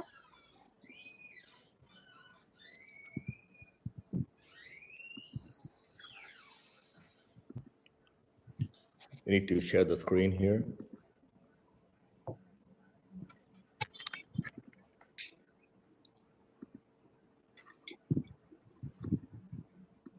Cannot click the share button. You will have to select the screen first. Just select the screen in the center, entire screen, and then share. How's that? Entire screen, you have an option to click on entire screen and then select. You'll have to click on the screen that's showing. The, the. In the center of the screen. There you go. Got it? Yep. Thank you.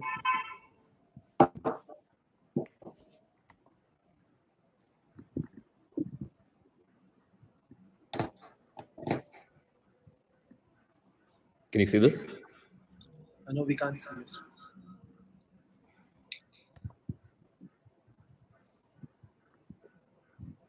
Can you do that again, please? All right.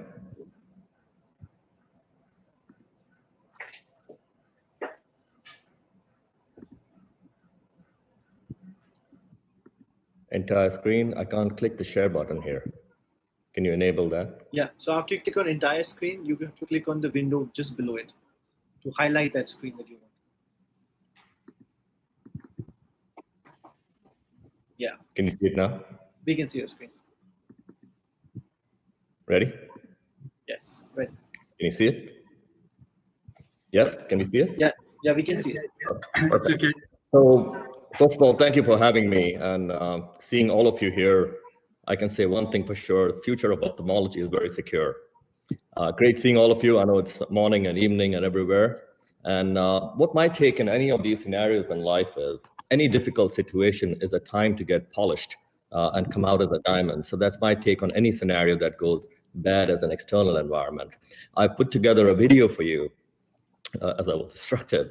And um this video actually shows how the practice, my own practice, which is very unique, is um, how it was before COVID, what we're going through right now. And then we'll talk about how to revive the patient load. So here we are.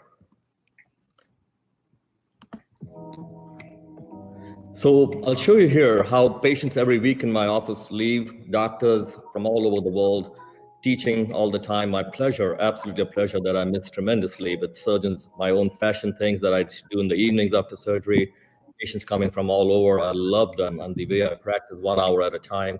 Fun things they do with me right out of surgery, breaking glasses out of cataracts or laser techniques or fixing complications.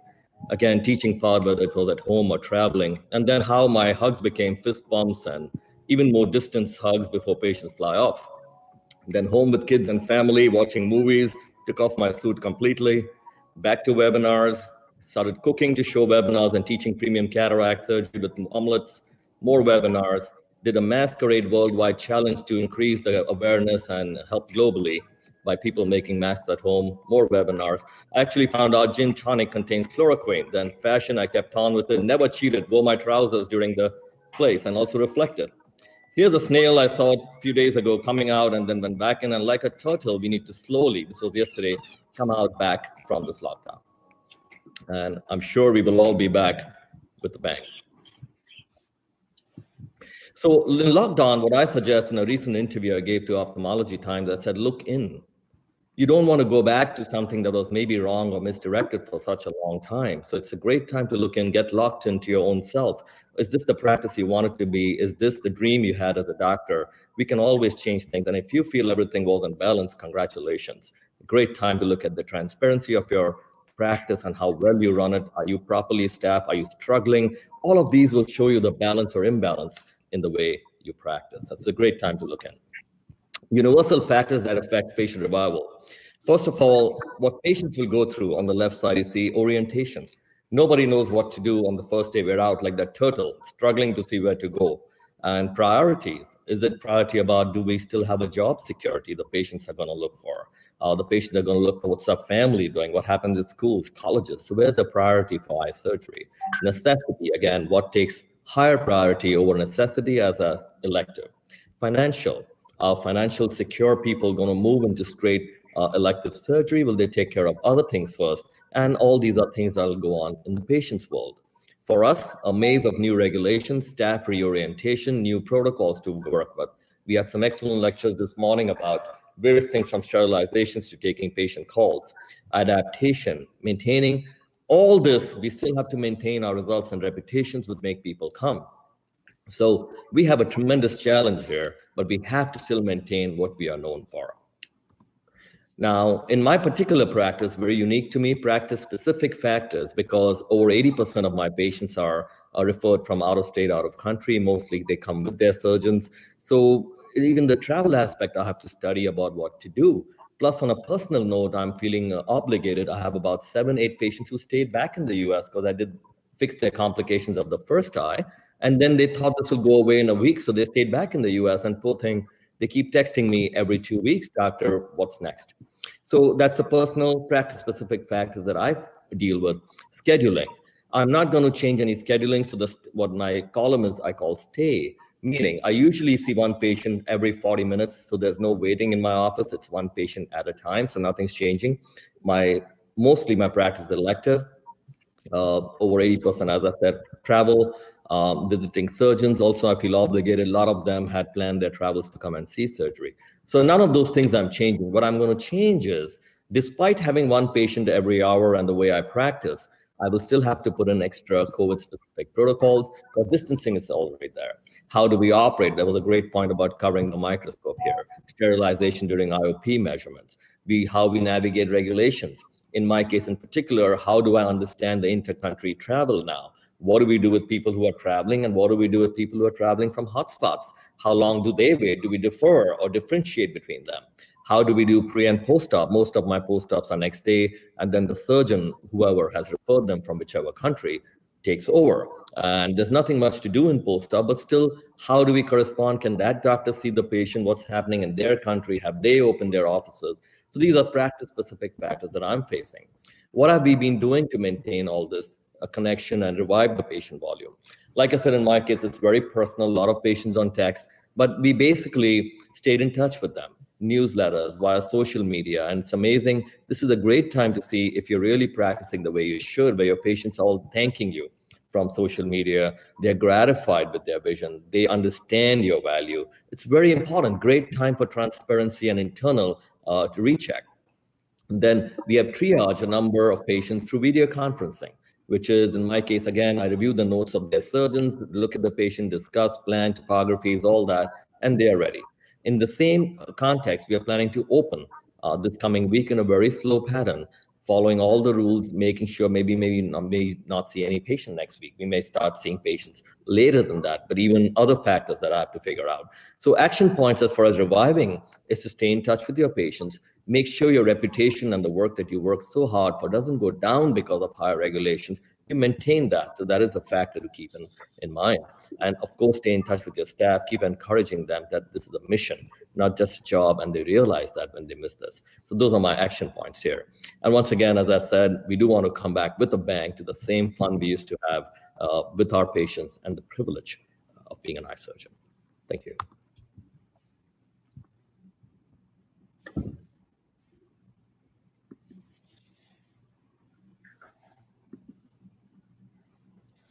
Seb. Hello. Yeah, Dr. Saiba. Thank you, Dr. Gulani. My pleasure. Thank you so much. We'll uh, revert back to you with questions at the end of the module. Now, next over to Dr. Gerard Schultz for his talk.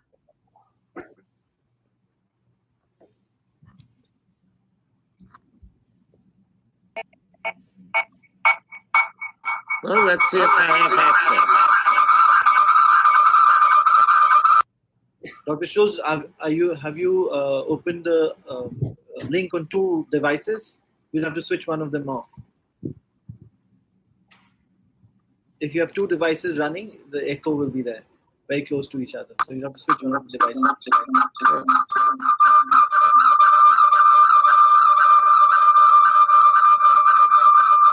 Nope, I can't help it. Uh, can you switch off your cell phone? That will help. Just your laptop should be good.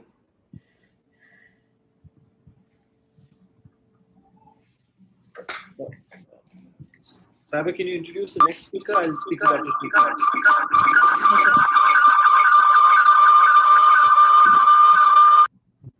So, in the in the meantime, I'd like to invite Dr. Uh, Jean-Pierre Rosenbaum, and he'll be talking to us about how to support yourself and your family. Over to you, sir, please. Do you can you hear me? So is it okay? Yes, we can hear you clear and loud. So, so uh, I'm pleased to be with you. I'm from uh, Paris, France, and uh, thank you for the invi- this uh, invitation. It's very pleasant to be uh, to be talking with uh, the whole world now uh, during this uh, COVID. Uh, crisis. And uh, so I will begin with a, uh, I will be very short. Personally, I wanted to tell you that I never, I, personally, I was not, I, I didn't worry and I take care. But uh, I'm not uh, afraid by this crisis. It's terrible, but uh, I do what I have to do. But I not, I don't worry.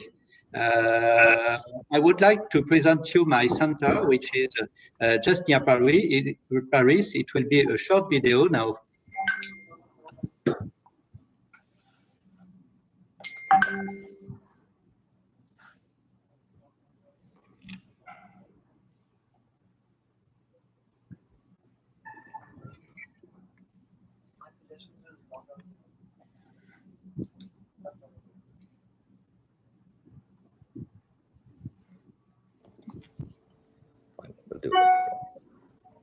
Can you please click on screen share? Uh, you want I, well, what you want I do? It is on the left hand side bottom. Ah, screen yes. share. Okay. Okay. Okay. Uh, I, I do it. Okay. Uh, I'm going to share. Yes. Now you can share your screen. Okay. So can you see it now? Yes. I Okay. think you have Sir's uh, slides also. You can play it too. Okay.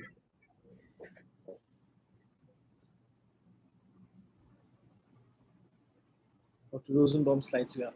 Yes, I, I want to say that uh, patient, uh, there is not no many patient inside the center. First thing, the patient go and wash uh, their hands, or they put hydroalcoholic solution on their hands before going to see, going, going and see a secretary.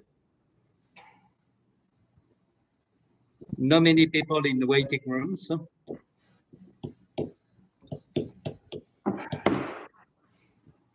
So you'll have to press on share screen, which is the uh, third uh, icon on the bottom left. So we, we put we put a barrier, uh, which is a protection. So now I'm going to do my pres- my presentation, uh, which which which is uh, supporting uh, our uh, supporting uh, yourself and your family. Can you hear this?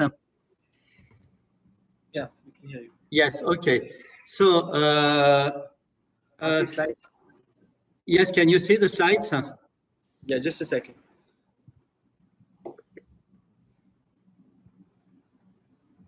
Can you see that? Just a second.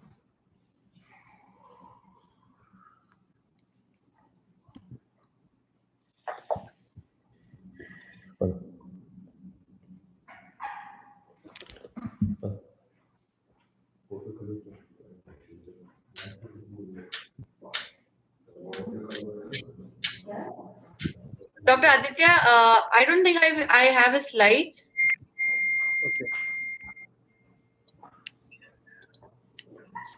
Oh, thank you. Can, can you see these slides? No, can you just click on start screen share? The screen share button on the left and bottom. Yes. And then allow, yeah. Yes. Why to uh, call and take it from there. Thanks. No, I, I you've not clicked on it. I am not able to give you the access. Can you please click on it again? Mm-hmm. Yes. And now on the entire screen, you have an option to select the screen. Just select the screen and share.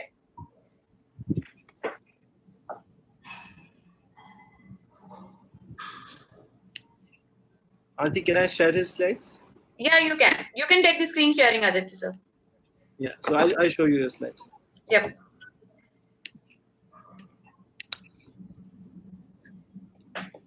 I see it. Okay.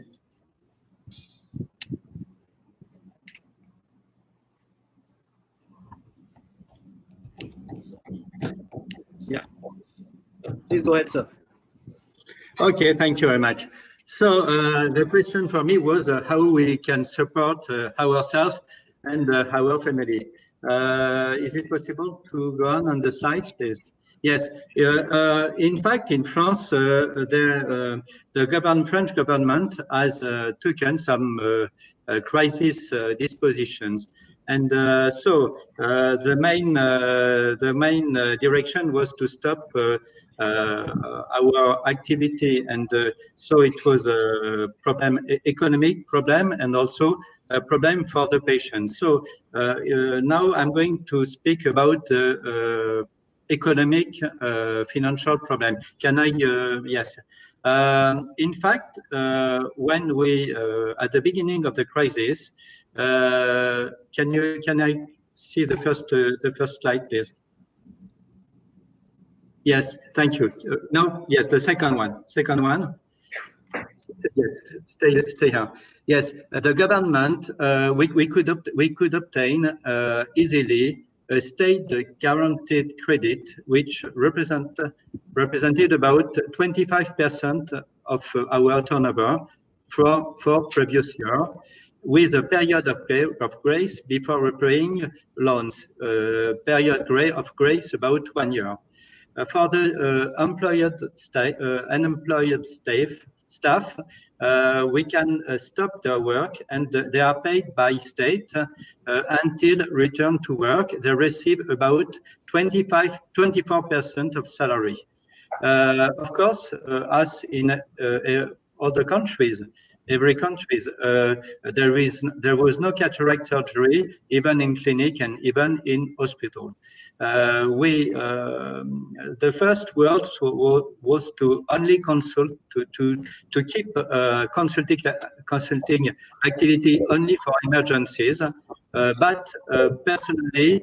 I thought that there is not only emergency, there are only essential care, and it's very important. For example, two days ago, uh, I've examined a, a, young patient, eight years old. Uh, his parents uh, uh felt that uh, he had some problem since uh, about one month. He had bilateral papillary edema, and uh, it was very emergent. It's an emergency case, but it was impossible before uh, we have seen him, examined him. It was impossible to say before if it was uh, emergency or not. So uh, uh I think there are not only emergency uh, cases, there are also essential care.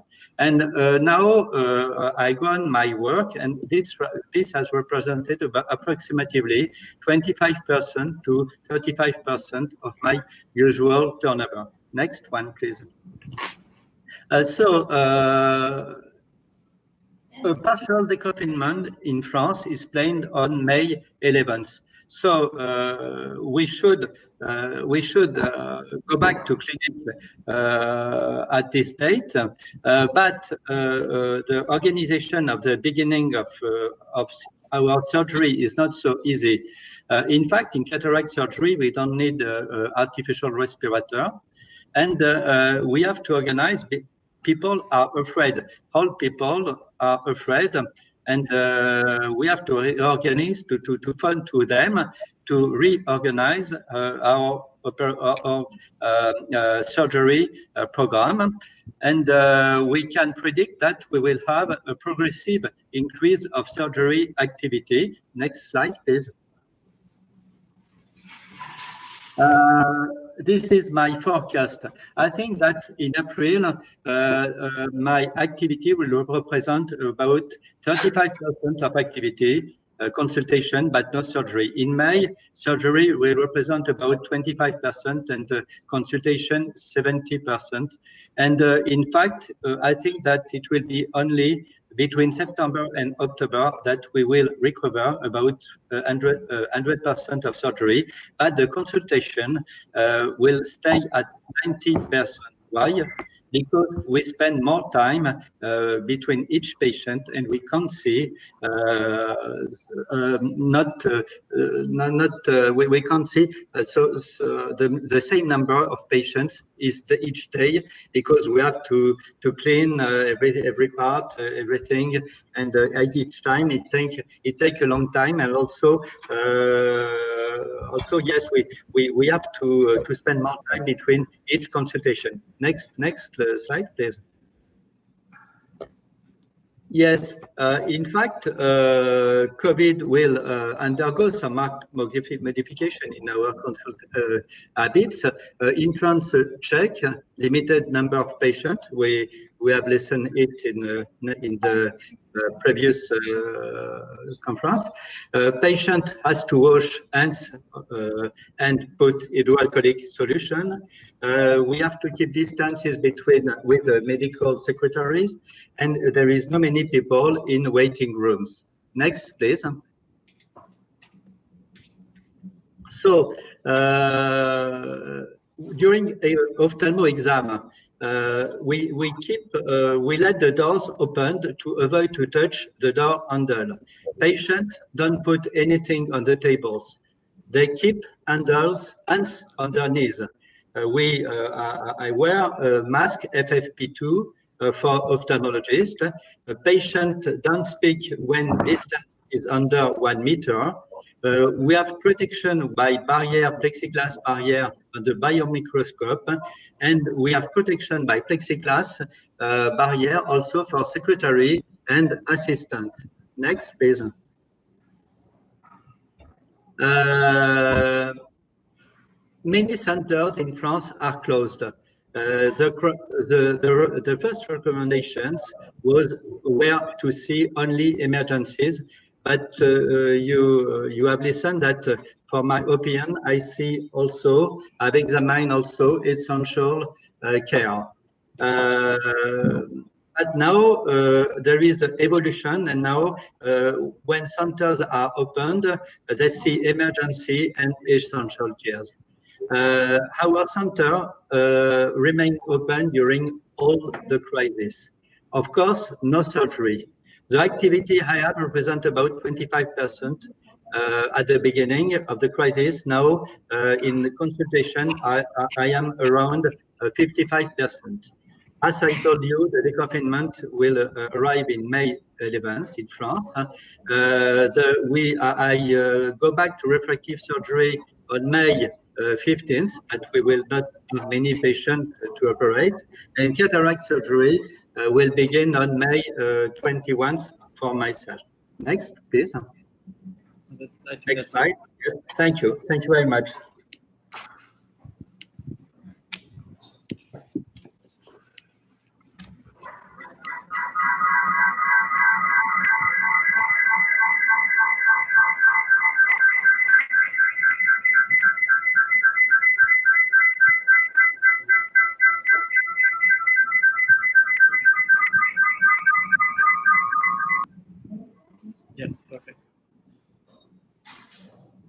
Dr.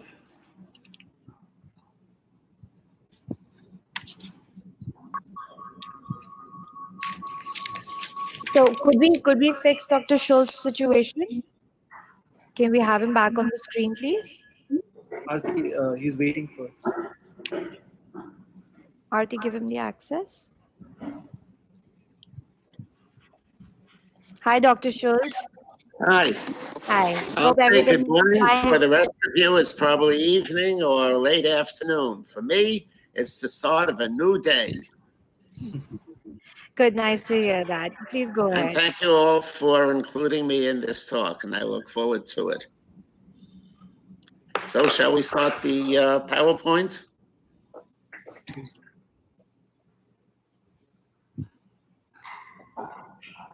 As you have Dr. Schultz uh, PowerPoint. He's actually doing it. I have it as a backup, but I think he's sharing his screen. Okay, are we on the screen? Because if we are, I'm going to tell you how we work the COVID-19 virus in my practice. And I want to give special acknowledgments to one of the residents of Bascom Palmer who had a fantastic grand rounds on the COVID virus last week. What we want to do is pull out our Superboy to kick that virus away. We have an in-family Superboy, Jay, and he's going to be the future of controlling and kicking away all the illnesses in the future. So we'll start with, of course, in our field, the red eye and what this means. I was asked to talk about the staff, human resources, and what it is meaningful for the staff. So these are the questions that my staff had. Will I contract the virus from a patient? The schools are closed. How will I care for my young children if I have to work in your office? How can I homeschool my older children? And if they do stay home, if I don't work, how do I get the money for my expenses? Will I be able to keep my health care? Will I get my job back? And if I am at the office, will my hours and salary be reduced? Of course, this differs from every type of organization, and I'll tell you a few of them now. So let's have some answers. Will I contract the virus from a patient? Well, this was very well covered by the previous speakers. Let me point out that the ophthalmologist and their staff are at big risk for contracting the virus because we work so close to the patient for extended periods. And previous speakers talked about the gloves and the masks and the N95, but these only give limited protection. The virus can be transferred to the eye and then to the respiratory system, and I'll show it to you. The transfer can be from rubbing the eye, meaning we are rubbing our eyes. For the staff that wears contact lenses, that means they're touching their eye. Or they can have direct contamination from the patient if the patient coughs and it, uh, the aerosol goes into the eye. Therefore, protective goggles are definitely recommended to reduce the risk. And I mean goggles that really surround the eye, not just ordinary eyeglasses. So let's go into recent publications. This was a 29 year old ICU nurse that developed a conjunctivitis and the next day had fever and breathing difficulties. Conjunctival swabs were positive, and this was in Ocular Surface uh, News. It's coming out in July, but it was online. And we can see that she has the ground glass configurations in her lungs. The eye cleared, but still, by day 18, she still had the infection in her lungs. Here's another publication. This is in the British Journal of Ophthalmology. 30 year old male who developed conjunctivitis. This occurred about eight days after he had other systemic involvements. The conjunctiva was positive for the virus. And finally, a very recent publication. This is a member of the National Panel on Pneumonia. And he reported that he was infected uh, while uh, in Wuhan seeing a patient. He wore the mask, but did not wear anything to protect the eyes. Several days before the onset of his pneumonia, he complained of redness of the eyes. So, unprotected exposure of the eyes can lead to the virus.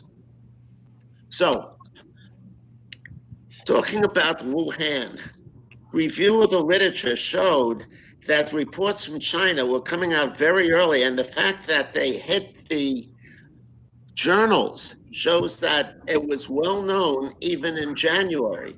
And as uh, other speakers have mentioned, it's a shame that our country, the United States, didn't jump on it like many other countries did to prevent the widespread spread of this virus. The warning signs were out there, and it was even in our medical journals. Let's go back to the concerns of our staff. If I do work, will my hours and salaries be reduced? Well, in the United States, supposedly, we're getting what we call the payroll protection plan, meaning the government will give us enough money based upon last year's payroll to continue on for a couple of months. Those members of my staff who do have to stay home because of their children, they will get unemployment insurance augmented by the federal government at $600 a month or a week to continue on, meaning some of my staff members who stay at home have potential of making more money by not working than if they're at the office. However, as Governor Cuomo of New York said, trying to get money from the federal government is like trying to rob a bank. You can see that my application for the payroll protection plan has been approved. I have yet to see the money.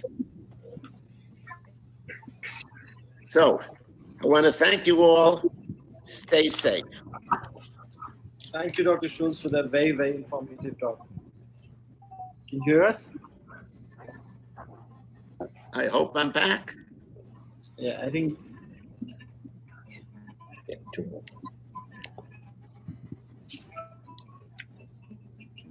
I don't know if I'm back. Talking about the virus in the eye, for those of you know how the virus latches onto the body, it's through the angiotensin converting enzyme 2, the ACE2. And the virus has spikes that latch onto it. We know that the gut, the lungs have a lot of the ACE2 areas. However, when you get sick, emphysema, asthma, the field increases. The conjunctiva has it. And in previous SARS studies, it shows that the retina, the choroid, they have it also. The conjunctiva has it. And in the report from Bascom Palmer, there have been corneal melts, perforations of ulcers from the current SARS COVID 19. Thank you.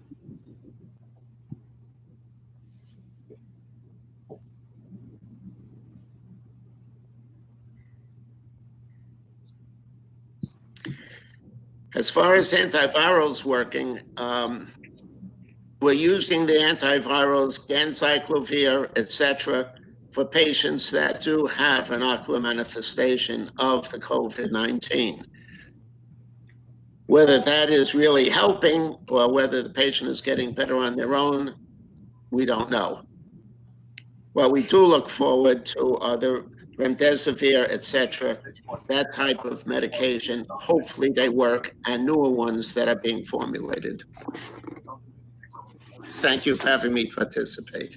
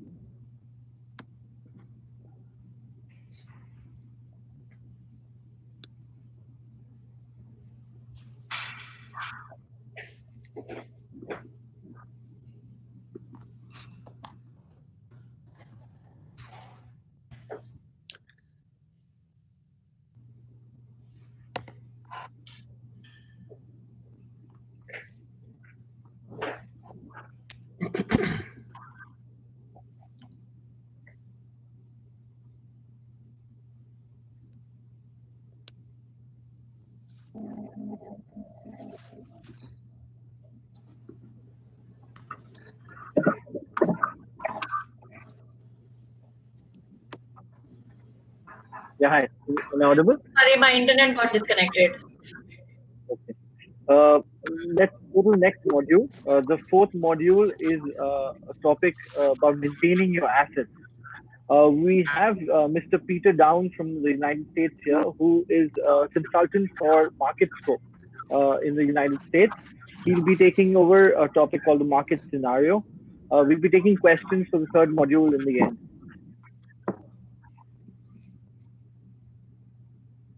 And with him, we have Dr. Shmuel from Israel, who'll be talking about ophthalmologist perspective. So we have Mr. Peter Down. Hello. Hi, how are you? Hi, you hear me? Yes, I can. All right, well, let's, uh,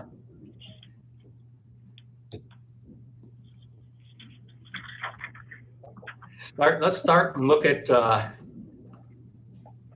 what happened in Yeah, we can see your slide. China first. So eye hospitals in China were closed for three to eight weeks, depending upon the location. Uh, some, but not all, provided emergency care, which was typically retinal detachment, acute angle closure glaucoma, and trauma. When they reopened, uh, many found they had a backlog of chemical trauma cases from uh, people disinfecting their homes and splashing disinfectant in their eyes, and then not being able to get out or not being able to travel after that and waking. Um, no walk-ins for eye care. All uh, appointments were done online or by telephone and then checked at the entrance. As several people mentioned elsewhere, cataract capacity is reduced for fewer patients anyways. Um, and a big emphasis on getting uh, refractive surgery back. All, all the private hospitals emphasize Uh, refractive surgery a lot. the- Is that correct? Um, in the U.S., we uh, surveyed uh, ambulatory surgery centers on March 24th, What time do you need me? Question mark. which was just after uh, several of the state closure orders came down. Uh, and you see that 39% closed, 56% were open for elective surgeries only. In terms of uh, clinics, uh, 16% were not seeing any patients at all. Uh, and 80% had reduced hours, were mainly seeing only emergent conditions or following up on patients um, who had had surgery before the stay in place orders came out or were chronic patients, um, such as uh, those getting IVT injections. So cataract went down to almost zero. Uh, retina, most practices will continue IVT injections. About 30% of patients decline to come in um, because patients do have uh, a fear of getting the disease. If you look at uh, the patient volume in the U.S., uh, and uh, see, Charles already mentioned this. By April 4th, it was uh, had dropped down to only 20% of patients uh, in ophthalmology practices. And it was around March 20th when um, most of the major stay-at-home orders started in the U.S. Although again, there's no national response; it varies state by state. But even before that, patients out of fear had uh, started not coming in, and that issue of overcoming patient fear will be an issue when uh, clinics reopen and start up again. Uh, so when you look at India, we did a prediction for India. Uh, two different models for the crisis. One is kind of a short term, that is practices closed for two months or less, uh, and uh, ramp up. When they reopen, ramp up and achieve uh, kind of the same level of the previous year um, in about four months. And even that, it's on, on a year-to-year basis, we see we estimate a decline in cataracts, IOLs of 27%, uh, refractive procedures 28 to 29%, so on down the line, as you can see. If there is a second wave of the pandemic later in the year, uh, or and the first wave continues a long time, I, I realize things are already in India. So if there's a second wave, then you expect a much more severe crisis. Uh, our estimate for the market in India, uh, these are in millions of US dollars. This is with the declines represented in the last slide, you see about 263 million per cataract. These are manufacturers' revenues. Uh, retina 281 million uh, for a total market of about 1.3 billion dollars for manufacturers in India. So, uh, with that uh, snapshot, I'll let you move on to the next presenter. Superb. Uh, can we have questions for uh, the two modules together?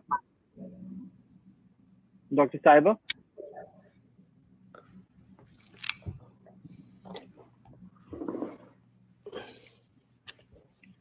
Can you put Dr. Saiba and Dr. Uh, Lewandowski?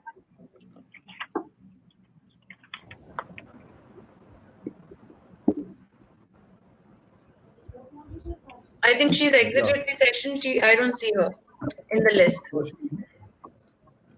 Uh, she'll be as Dr. Arun, I think. Yeah, I've checked it. I don't see her. Uh, thank you very much. It's been a very interesting. Now we move on to our next module and the next speaker.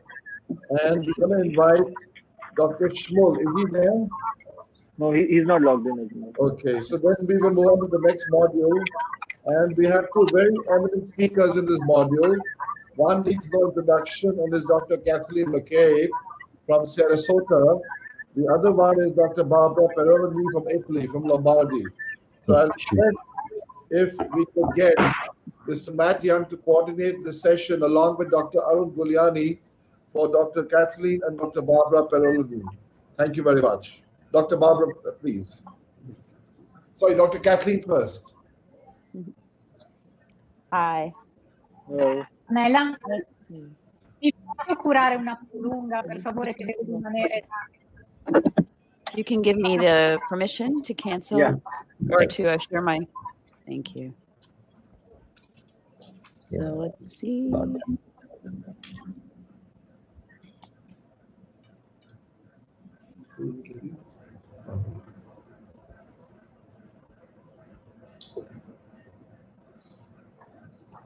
Can you see my screen okay? Yes, we can. Okay, great. So yeah, uh, I'm going to just go over a little bit of what our experience is here in Florida in the USA. And, you know, I think everything that can be said about our leadership has been said already, uh, especially by Steve Charles. So yes, we are winning. We are getting sick of winning. I can see how much we're winning here with uh, 1.1 million cases and over 66,000 deaths. And in particular in Florida, we have, you know, 34,000, almost 35,000 cases. This is only current, I think, until the 30th of April. And our particular situation right in my local community is that we have a case fatality rate that's somewhere around 10% even. Despite all that, in Florida, we are opening up uh, for phase one, as we term it here, reopening where we uh, can start doing elective surgery on May 4th, so next Monday. Uh, we are in our facility restricting the volume so that we can maintain social distancing and all of the things that have been so eloquently described as uh, methods of keeping people safe. We don't have a negative pressure OR, and nor do we have HEPA filters in the OR. So I've been listening uh, intently to some of that discussion. We are in our facility limiting the patient's health as a, an age. So patients who are over 75 or who have significant comorbidities, especially the ones that we know have a decreasing survival rate with COVID, we are limiting at this time. Uh, of course, any large gatherings in Florida in general are still restricted.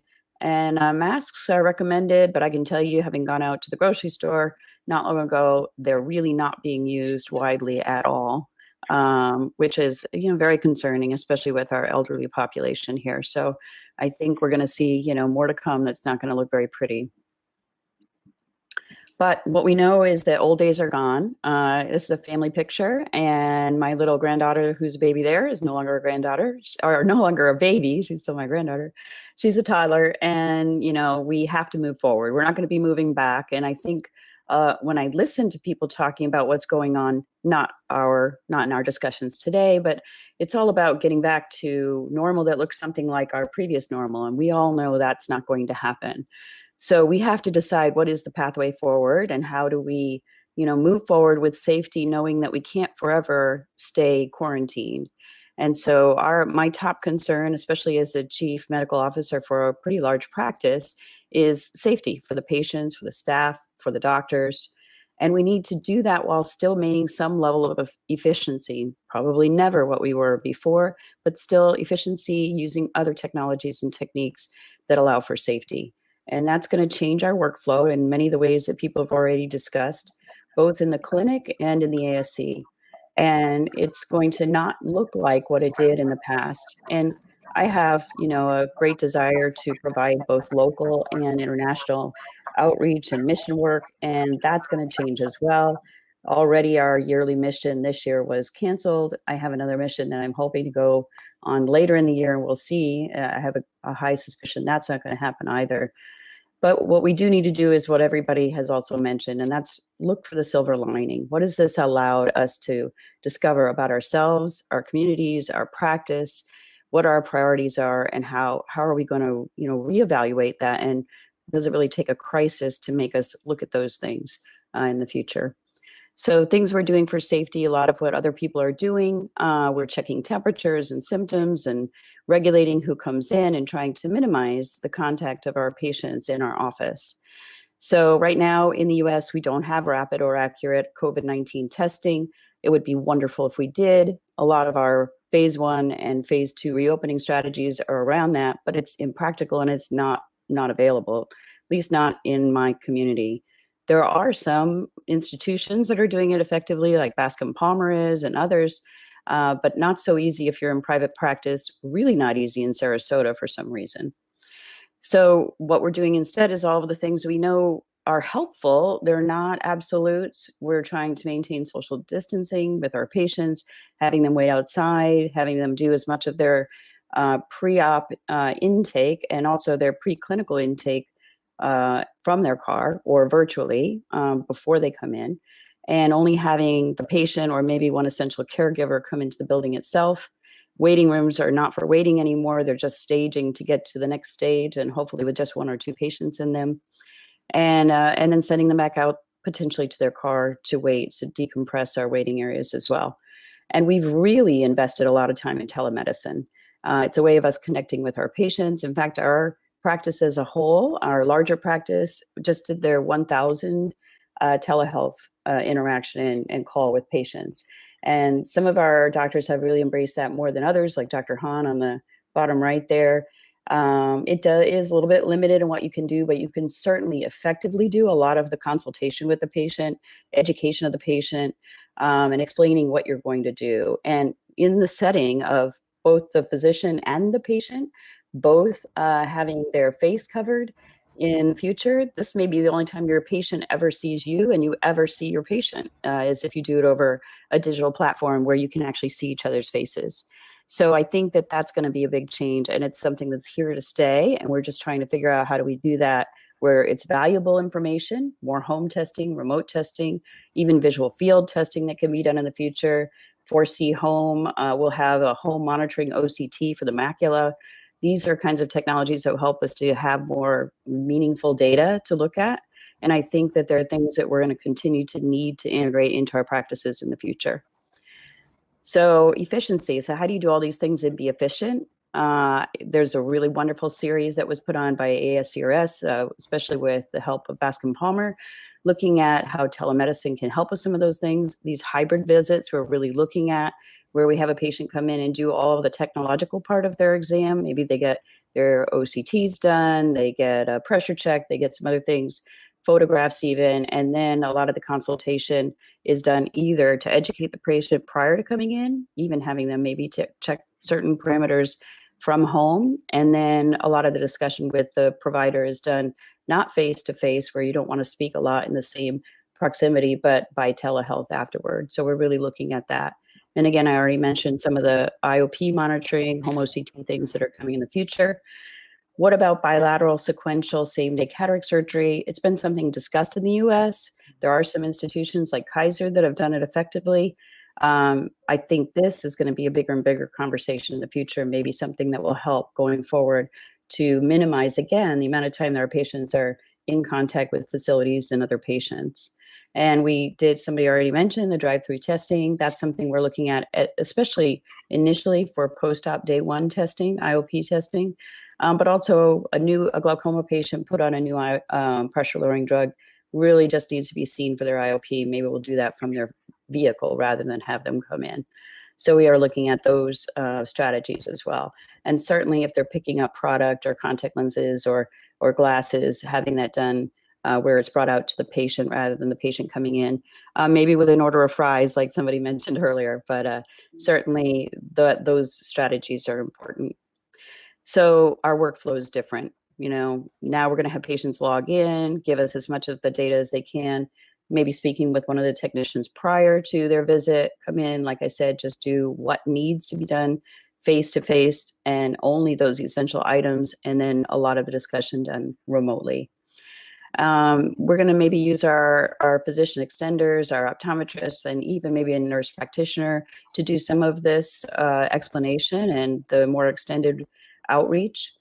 Uh, and we really, and personally, I think these long acting interventions are going to take on a bigger importance. So we recently uh, had FDA approval of the um, long-acting Durysta. Uh, that I think is a tool that will be helpful, has a very long-acting effect on IOP without patient compliance or all the things that we worry about with coverage.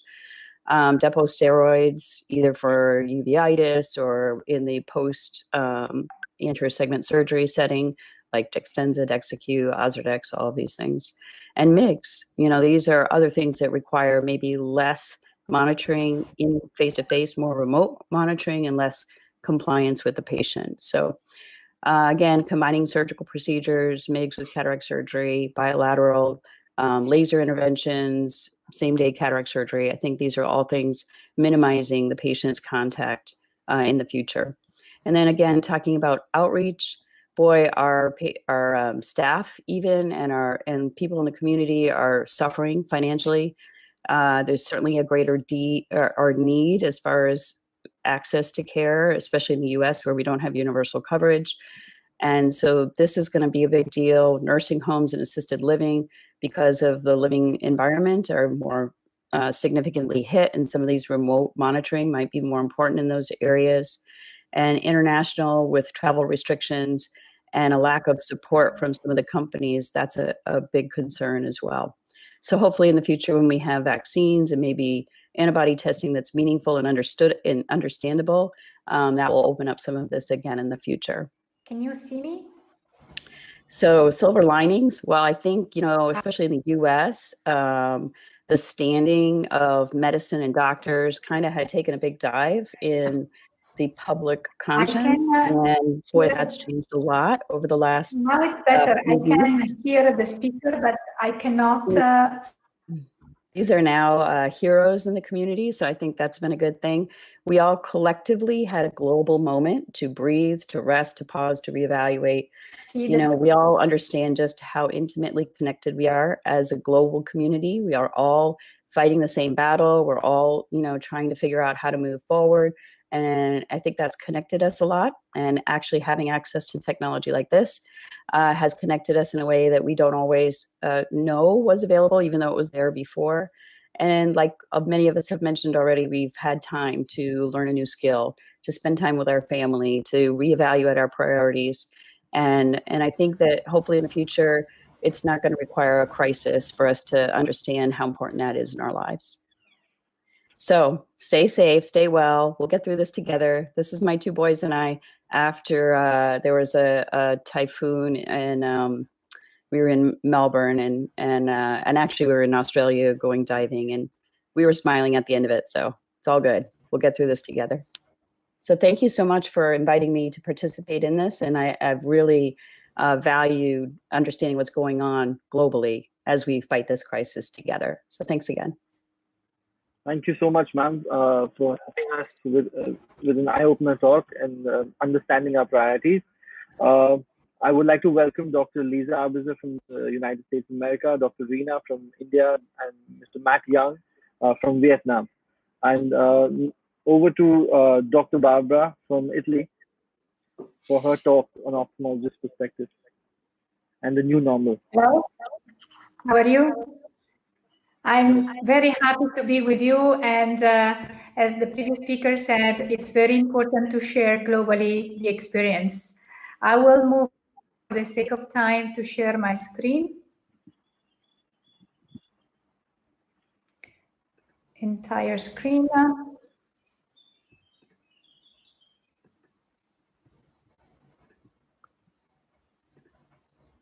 Okay.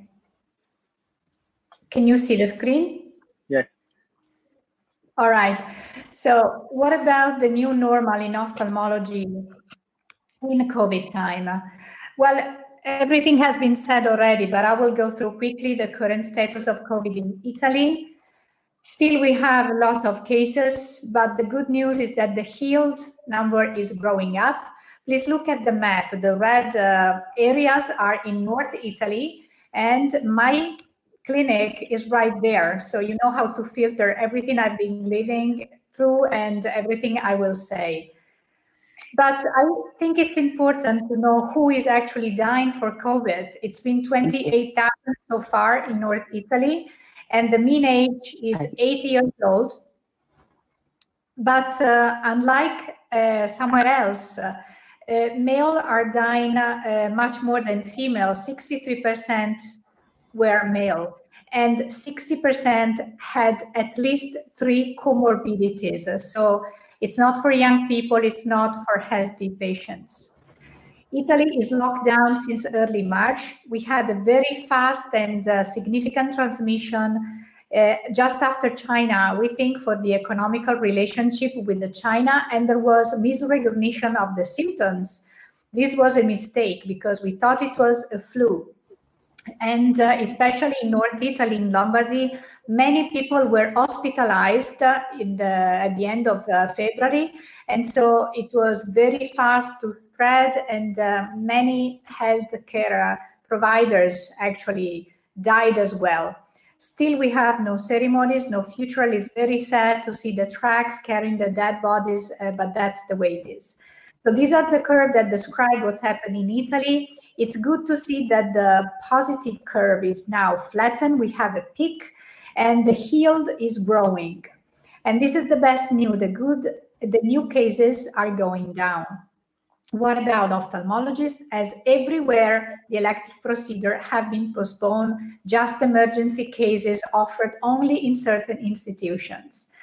As previously said, for Israel, private centers have been mostly closed, but no clear rule were available for private centers. But we are doctor and we need to treat our patient, and it's very difficult to balance between controlling pandemia and not treating the one in needs for eye treatment in particular in my practice shut down on March 2nd uh, to allow isolation of staff and patient and patient themselves were self-limiting calling to cancel the appointment.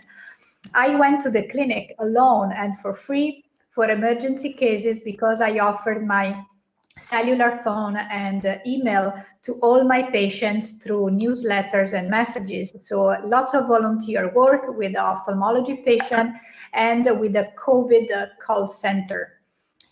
So the new normal in the private ophthalmology clinic starts now. We have to treat, I think, everybody in need like before and not just emergency.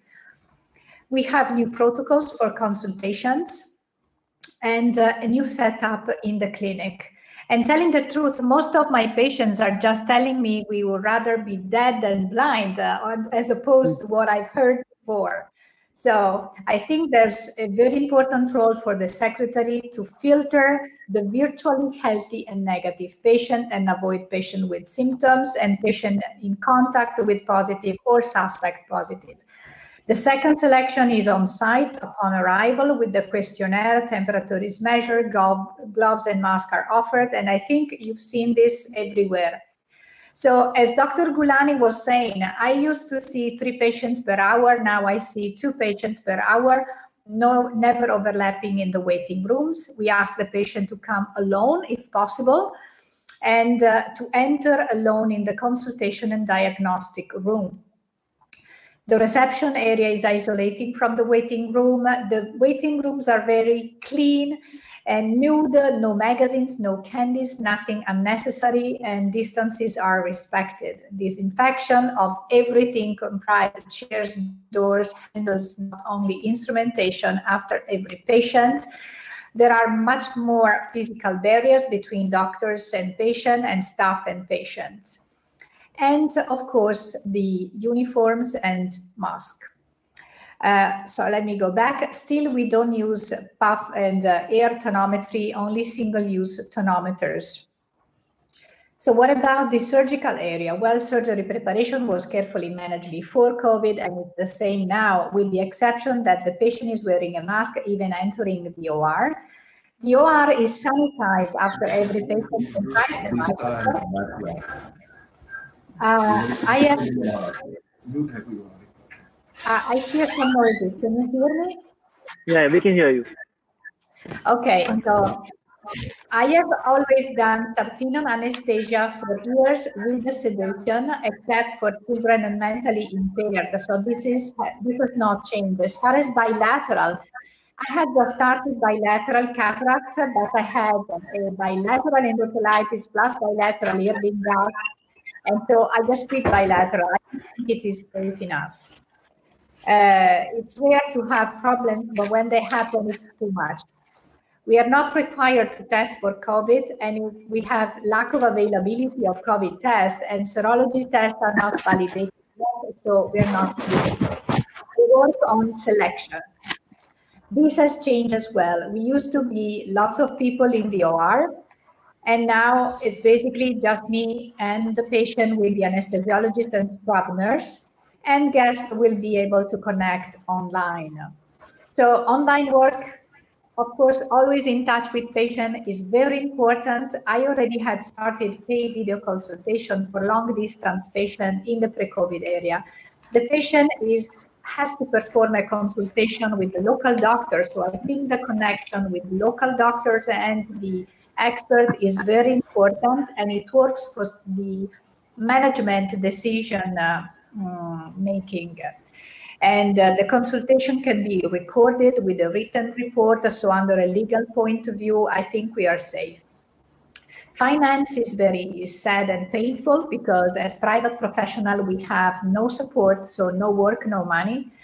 And uh, this is different for doctors working in governmental hospital, at least in Italy. Government supported at least for three months the staff with a partial salary so they could keep their position. Bank support with a question mark. We asked for loan payments to be on hold, but the requests to the bank were so many that they cannot keep up with the request. And we are still waiting for the government to know if we have to pay taxes, when, how much, we don't know online education works perfectly. Look at this meeting with so many people people connected. Uh, I think it's a great option. It's less expensive for the organizer, less tiring for the speakers. They uh, remain recorded for the audience. It's easy to remain on time as a schedule, and I think telemedicine can help the training. I was asked to tell you about my Corona time. Besides working, for education, talks, study, data review, which I do and I absolutely love. I, of course, rediscovered my hobbies, gardening, bonsai, painting, and uh, mostly cooking. I'm celebrating 52 years of age and 25 years of marriage. And um, yeah, it's important to remember that this is not the first time. Every 100 years we go through an epidemic. So I hope the next generation will be more ready than us for the next epidemic in 100 years. But my view of the future is very positive. The number of patients per day is reduced, but I think it's true for most of you. I am traveling less, I am working more, Therefore, the number of patients per month should be almost the same. If we guarantee our patient a treatment in a clean and risk-free area, I think they will have less fear, especially outside the hospital. So I can foresee a good role for the private centers. Staff is reduced per shift according to the needs the clinic is cleaner, smells good all the time. I'm less stressed and working with higher quality per patient, so I will not be able to go back to the old way. I think we should adapt and adopt new solution. And I thought about the three S, saving, selection, and software. Saving because we will be more careful, just keep quality, but not wasting. Selection of case instrument techniques and hygiene measures and software because technology will help smart connection both in care and education. So if health and money last, this will be a very important time in our life and sign a beginning of a new era. I would like to greet you with these last photographs and video that I just take. It's the sunrise just yesterday. And I hope with this to leave you with hope. Thank you. Thank you so much, ma'am, uh, to introducing us to the new normal. I would uh, ask uh, Dr. Dina to introduce Dr. Lisa Arbisser. And also, we have uh, time for two questions, so any two questions for the speakers. And Namaste to all of you. And uh, I hope I'm audible. Yes, you are. Um, welcome, Dr. Lisa. Dr. Lisa is not only my mentor, but a very renowned uh, ophthalmologist who's been a great teacher and uh, always been there to help young uh, ophthalmologists. And I welcome you. And uh, any any suggestions or any questions uh, that you would like to say, uh, Linda, a few words about the new normal that we're going to be facing post-COVID? Yes, thank you so much for the invitation to join. You hear me all right? Yes. Um, yes, good. Um, I, it, this has been a wonderful conference um, in that I think we all have to rethink what the future will bring. A couple of things that have perhaps not been brought up um, is about research, about transplantation. Uh, are we going to handle tissue differently? Uh, I know that uh, I'm an adjunct professor at Moran and they are continuing their vivarium and just their very critical uh, studies that were ongoing and otherwise uh, have uh, pretty much stopped. Uh, how that's going to affect things, uh, particularly in the USA with uh, FDA requirements. It's been really interesting to see how many kind of false starts we've had in terms of what medications might be effective. Are they effective? What can we use? You know, without uh, anything close to the the type of uh, clinical trial. You know, of course, there's been no time for such things. You know, of what we've uh, anticipated and expected in the past. Uh, I think those are things to be uh, contended with. I do think that there'll be some advantages as well. I think that we now actually have accessible virtual visual fields where for a uh, a belonging fee per month. Uh, uh, there will be uh, devices and things that we can give to our patients and uh, collect. I think things have to change, you know, dramatically with how CMS in the U.S. and other governmental agencies agree to payment and such. Uh, but there will be more and more telemedicine going on, uh, more and more uh, activity with um, essentially studies that can be done at home. Kathy mentioned uh, Foresee, which has been available for a really long time and mm-hmm. and picks up uh, second eye and particular uh, age-related macular degenerative neovascularization way earlier than waiting for the patient to notice and report. And and that's been so minimally used. You know, I, I we personally. Um, my husband and I have, uh, and and congratulations to all because, you know, I think one thing that really supports us are our personal relationships as well as our professional relationships, and I feel very mm-hmm. blessed. Uh, my husband and I uh, just celebrated our 44th anniversary, uh, but uh, our our homes uh, may be uh, organized a little differently. Certainly, in this period of time, very early on, we we even got a an oxygen concentrator, a cardioverter in our remote farm uh, uh place, and um, uh, we're we're learning, you know, so much about what it means to be self-sufficient. I think we also have to think about our particular environment uh, and our communities and uh, there's got to be more realization that that in a situation where uh, so many people don't have food security or water security or or or the the, the essential securities of life uh, that we continue to be able to reach out and improve those uh, those conditions. And I, I particularly uh, uh, uh respect those of you, uh, the Sethis who've managed this, you know, who have seen a million patients for free, and those of us who continue to try to look into making our communities stronger and individuals more secure so that our our whole way of life can be more secure. I'm personally, uh, in addition to being worried about the pandemic, the viral aspect and disease, I'm very worried about the the political chaos that may follow, the changes in in uh, the ascendancy of democracy, uh, the uh, increase in populism and and potentially even fascism and uh, what our children and grandchildren will face, uh, most particularly with climate change no one's mentioned the one silver lining of this whole thing, and that is that you know Mother Earth mm-hmm. got a small respite from from all of our uh, use of fossil fuels and such. So uh, those are some of my observations. Uh, they needn't take any more time. Uh, and uh, thank you for inviting me uh, not only to participate, but uh, making me aware to benefit from this entire presentation.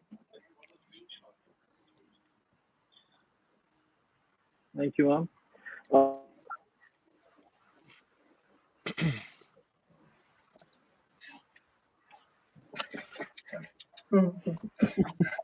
Congratulations on your anniversary.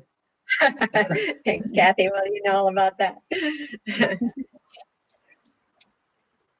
um, next, any questions? Anybody have further comments? I, I don't really um, think uh, there's much more that I, I have to author, offer other than uh, to count our blessings daily, to try not to fall into the uh, the, the, trap of, of depression and hopelessness, which I think is sadly uh, becoming more prominent all over the world, and figuring out uh, how we can uh, pull together and get through this. Yeah, that, I think that is one of the tragedies of isolation is that it does have a, a, terrible effect on, as somebody mentioned, you know, suicide and depression and domestic violence. And, you know, when some of the, when we start opening up the economy, but schools are not open, what happens with those kids that don't have anybody to care for them or not to, you know, help organize their studies and things like that when they still have to be home. So I think there's, there's a huge impact that goes beyond just the fact, which is serious enough, that people are critically ill with the disease. I would like to say that uh, this uh, uh, uh, this infection is going to last for a long time, and probably it will not be the last one. So we will just have to be able to adapt and learn how to live and do anything, not just emergency, not just uh, what's really necessary, because even ophthalmology elective cases become emergent at a certain point and they need to be treated. So we need just to change style and be able to do everything and be covered under the legal point of view and know that we are doing the right thing. I would like to know your point of view. Well, uh, you know, I, I, are you speaking uh, specifically to me? I guess uh, I don't know that I, you know, I don't have uh, the wisdom to know exactly how this is going to work, but we certainly need to get back to work. And I'm very concerned about medical training and, you know, the fact uh, that, I mean, experiential intuition is something that's gained over time of huge patient contact and you know uh, uh, we've seen that that our learning curves for surgical skills you know continue to increase with greater volume and really don't level off. And i even wonder you know for people who've been out i know i the longest i was ever out of surgery was with each of my four children you know three three months. And and that was you know a challenge to to even come back. That first case you know felt rusty. And i i really hope that uh, everybody will be able to just uh, uh, come back with the same skill level and uh, more, and that we'll be able to help our trainees. I, I, I fear that that things will become all the more cookbook, you know, algorithms and uh, and uh, uh, cookbook uh, learning has become uh, very prominent, much more so, I think, in this generation than the last. And decisions are made by the numbers. And I worry a little bit about that as well. Uh, although that may be where we're headed, and particularly with AI, uh, uh, being able to collect data and analyze it more accurately, apparently, than the human mind, you know, we'll have we'll have that advantage, and perhaps that will overcome some of the disadvantage of not having such a high volume of contact uh, with patients and uh, the panoply of diseases and conditions that help us to recognize problems and treat them appropriately. Thank you so much, ma'am. Uh, we, next, continuing with the new normal, uh, we have a very dynamic speaker, uh, Mr. Matt Young from Vietnam, who uh, is not only the founder of Media Mice, he's also the founder of the Pie magazine and the Cake magazine. And he's here to talk about the role of media and webinars in the new normal. Thank you so much. Uh, can everyone hear me? Yes, we can. Great. Um, I'm just going to take a, a, few minutes uh, to give an overview of my story. Um, let me share the slides first.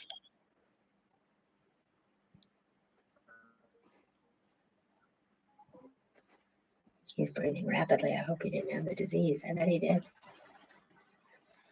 Still working on that.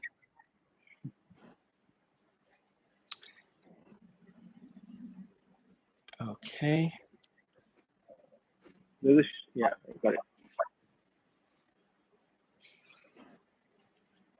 And I think we can take a couple of questions uh, after one more talk after this. And can everyone see my slides? Yes, we can. Yeah, thank you. I think I just lost that. Just a moment. Yeah. Here we go. Okay. Right. So, uh, you know, actually, I was in the middle of a, uh, a grand European, African, and Indian media tour um, to expose more doctors and industry about PIE and Cake magazine. Uh, PIE stands for Posterior Segment Innovation and Enlightenment, and CAKE stands for Cataract Anterior Segment Kudos and Enlightenment. We call ourselves the world's first funky ophthalmology ma magazines, but we're based out of Asia Pacific, uh, moving from east to west when I came back from Europe, uh, landed in Da Nang, which is my home here, and um, I was immediately quarantined because I had uh, the country of Germany on my uh, customs form. Um, Vietnam was very aggressive to quarantine at that time. And I didn't have any symptoms. I didn't know I was COVID 19 positive until about three or four days into quarantine. Um, it was interesting because my colleague Robert, uh, who I was with, decided to go back to the U.S. at that same time. Uh, he was my traveling and business companion, and um, he thought the U.S. would be a lot safer to handle the matter, and so he went back there. Um, fortunately, I came to Vietnam because I did not infect uh, my wife and kids or the community. I was immediately quarantined. And um, after three days, was starting to show some symptoms of breathlessness, um, back pain, leg pain, and uh, no fever, though. That was one thing um, that, uh, although I guess in 98, 99% of the cases have fever, I, I didn't. Um, 30. Yeah. Um, what can I say about that time? Well, I had a lot of anxiety, I suppose, around the situation, but um, at the same time, I felt, you know, I had read a book uh, not too long ago um, called uh, Dark Nights of the Soul. And, you know, we, we talk about going inward at this time, but in a way, my journey was both inward and dark. Um, but it was also transformative because as I was there in bed, um, wondering, you know, whether I was going to survive this, I I felt a sense of urgency, I guess, to get back to work, um, to dive in deeper to who I was as a person and also as a leader, and um, and so a, a transition happened when I was there in the hospital. I became not Matt the CEO anymore, but Matt the journalist that was trained uh, at the Medill School of Journalism at Northwestern. And, you know, I, I suddenly realized that what I was going through in terms of our ophthalmology community and the friendships that I have near and dear, I needed to get that story out. Um, and so I spent some time writing and reflecting, and it was kind of a soulful story how I was also feeling a bit guilty of uh, potentially infecting those colleagues and associates uh, back in Europe. But anyway, uh, managed to contact them, and they were all all right. Um, and I, I, don't know of anybody at this time that I actually did uh, infect, so that seems to have gone all right. Um, getting back to the professional aspect of things, I'm just going to advance here. Um, so uh, basically, these were my, you know, my my stats at the time, and I put this up on LinkedIn, and apparently people said, "No, you're still doing all right. Don't worry about it." Um, but I started to write my story, and I ended up posting it on our PIE Magazine site and on LinkedIn.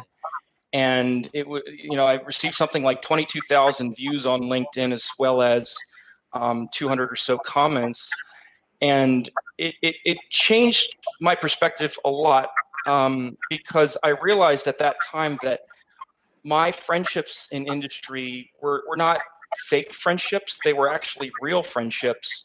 Uh, people reached out to, to give their love and support at a time when i was ill. And um, i felt like from that moment forward you know i didn't really feel like I, I didn't have to feel like I was going off and just meeting some business associates that, that you all became dear friends in my life.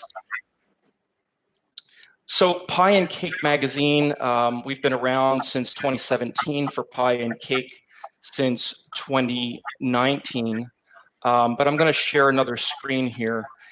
Um, what I, I realized quite quickly was that we needed to move from ebooks, which we had been publishing, to um, essentially almost like a crisis mode where we needed to start covering things in depth. So very quickly, we transitioned our website to start co covering the uh, COVID and uh, COVID situation as it relates to ophthalmology.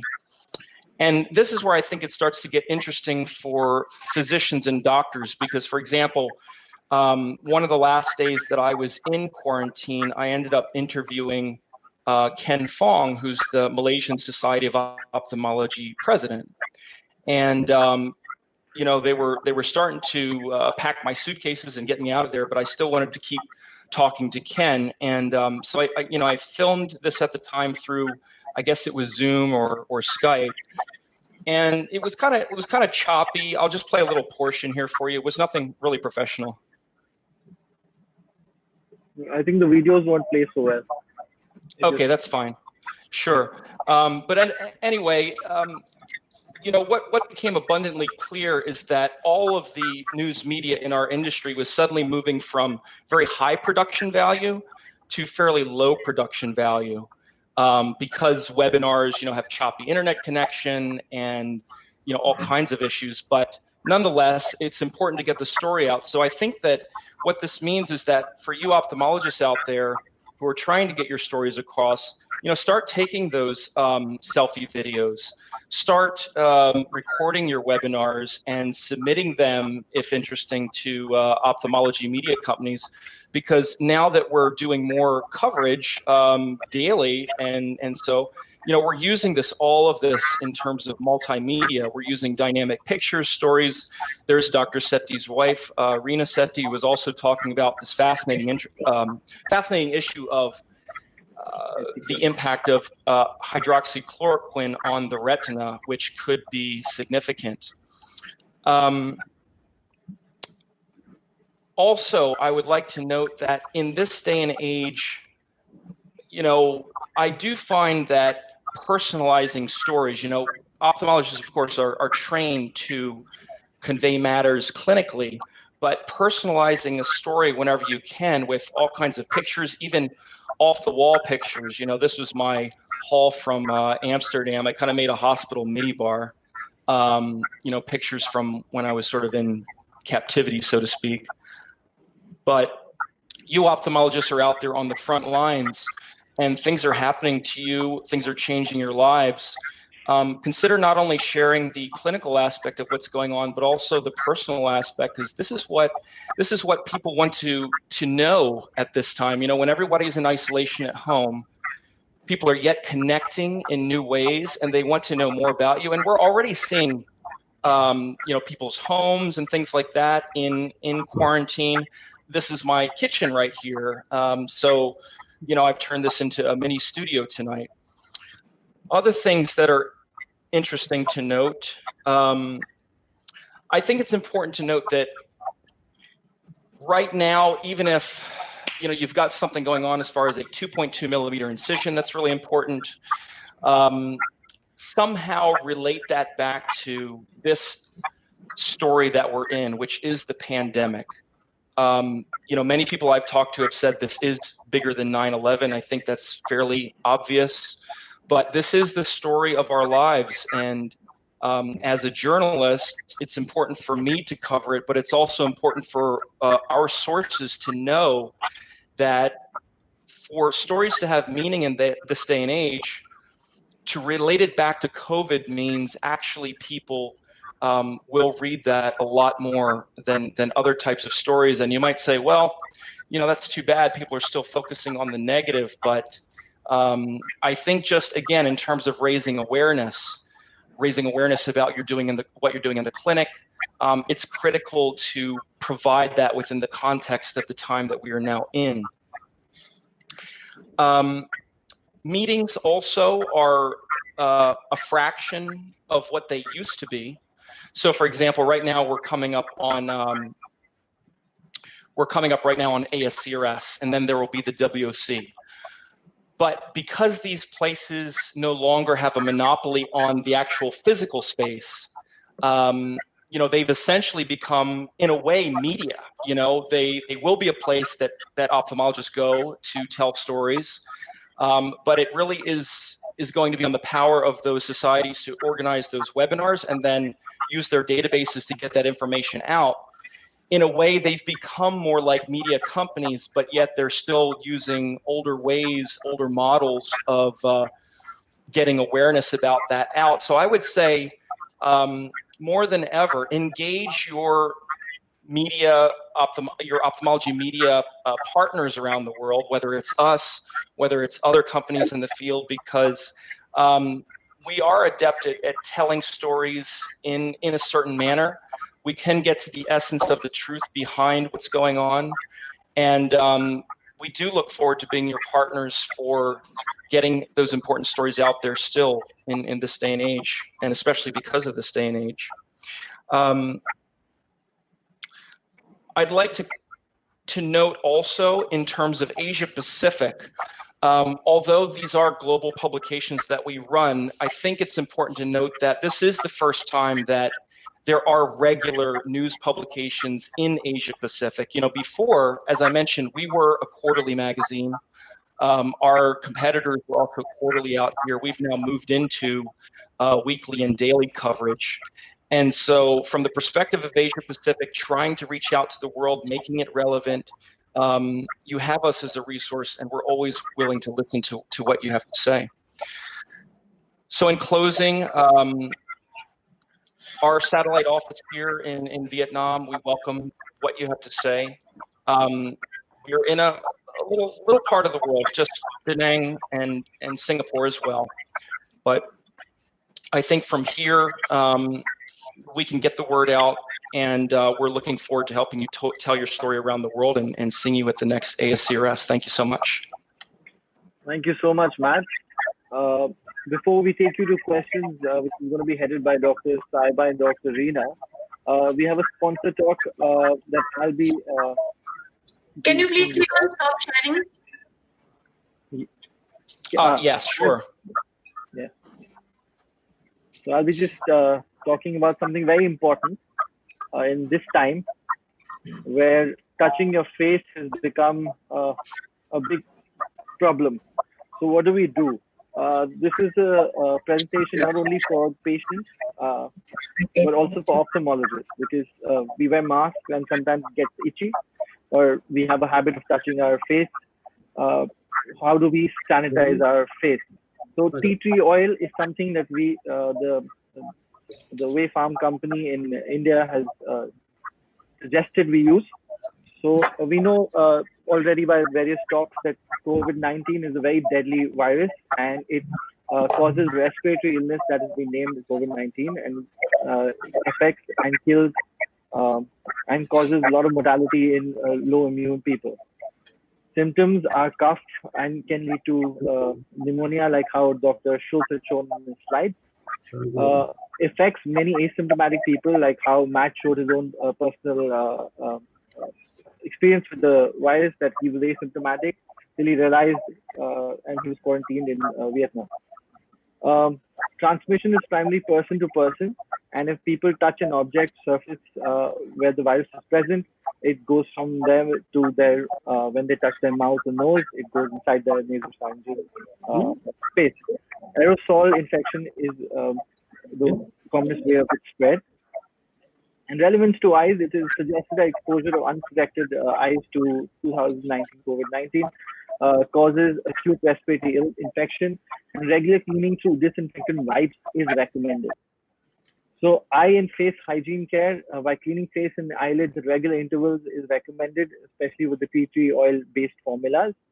Uh, because tea tree oil has antibacterial, antiviral, and also some antifungal activity, as been shown by various articles before.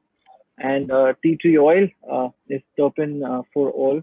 Uh, that's the the chemical composition.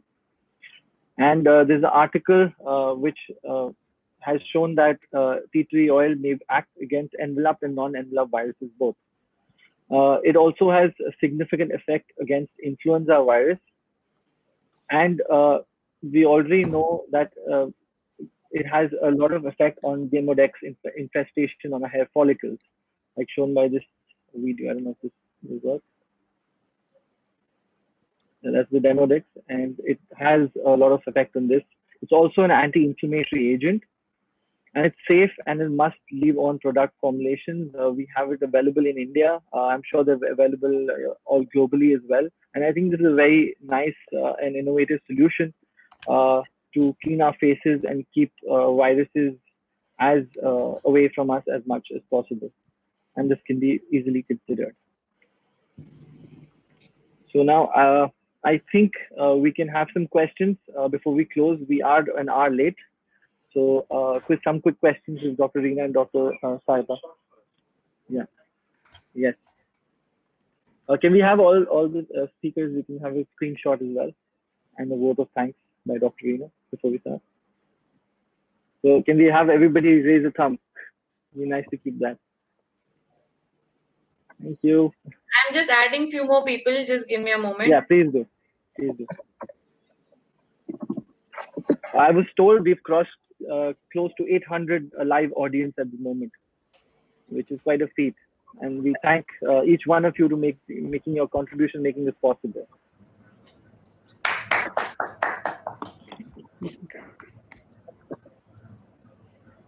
And okay, thumbs up, please. Thank you. So uh, can we put Dr. Reena and Dr. Saiba? And sure. maybe take me and a uh, few more people out. Dr. Gulani is joining us soon. And Dr. Gulani is also there.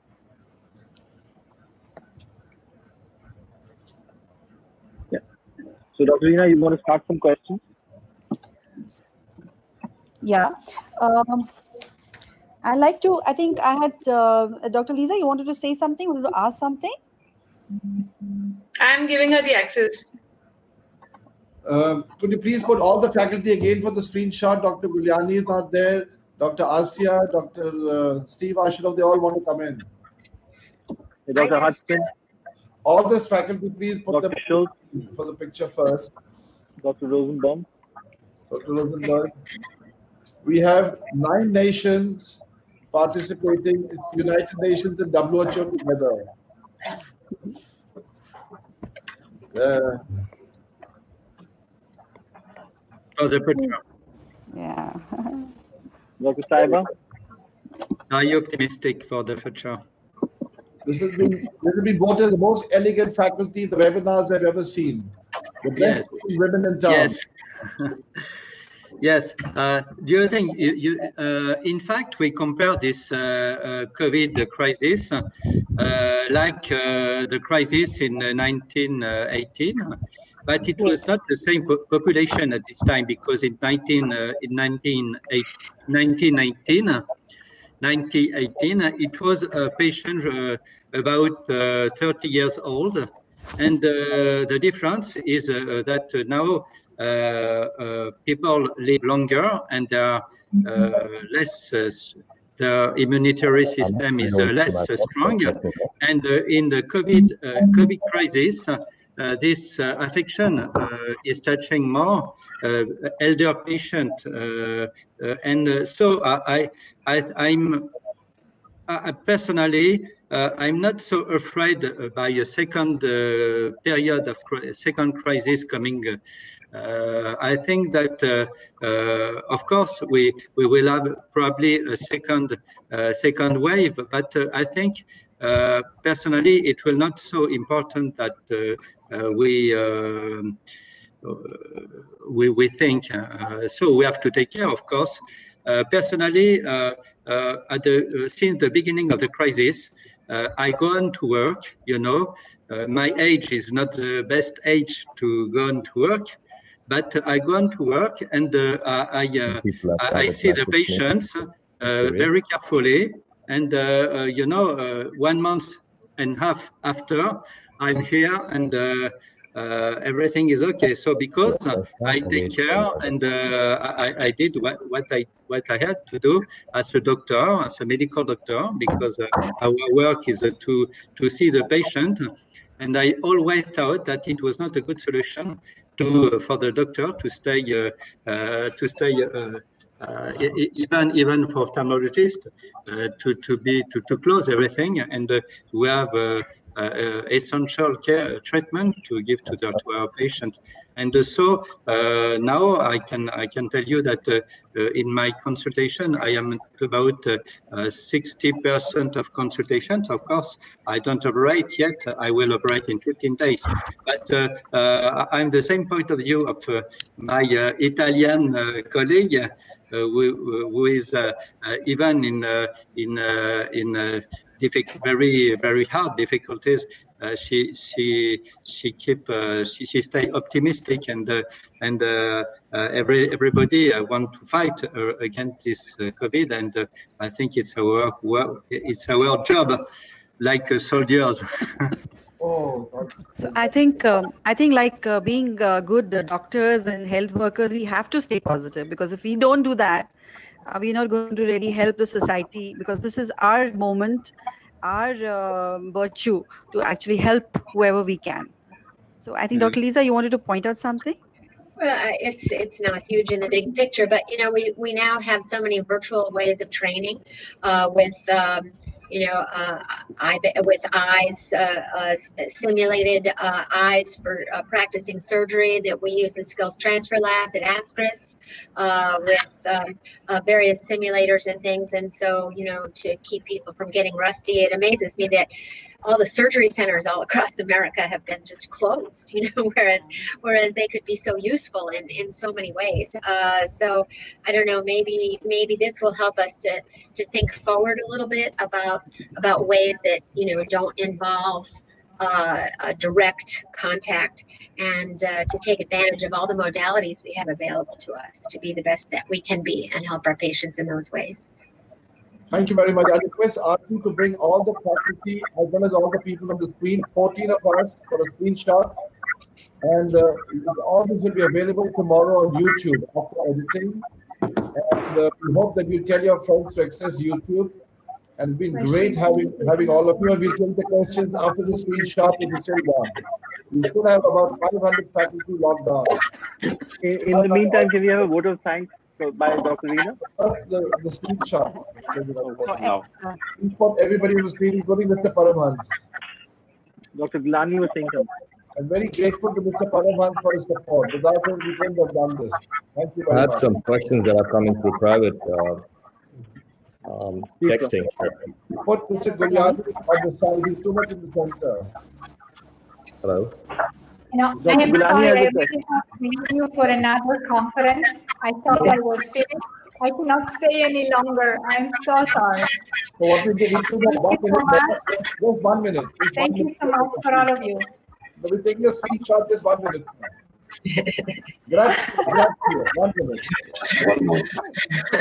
Dr. Lisa has come all the way from the farm. I'll get Amir in the picture too. Come here. Can we say hi, Amir?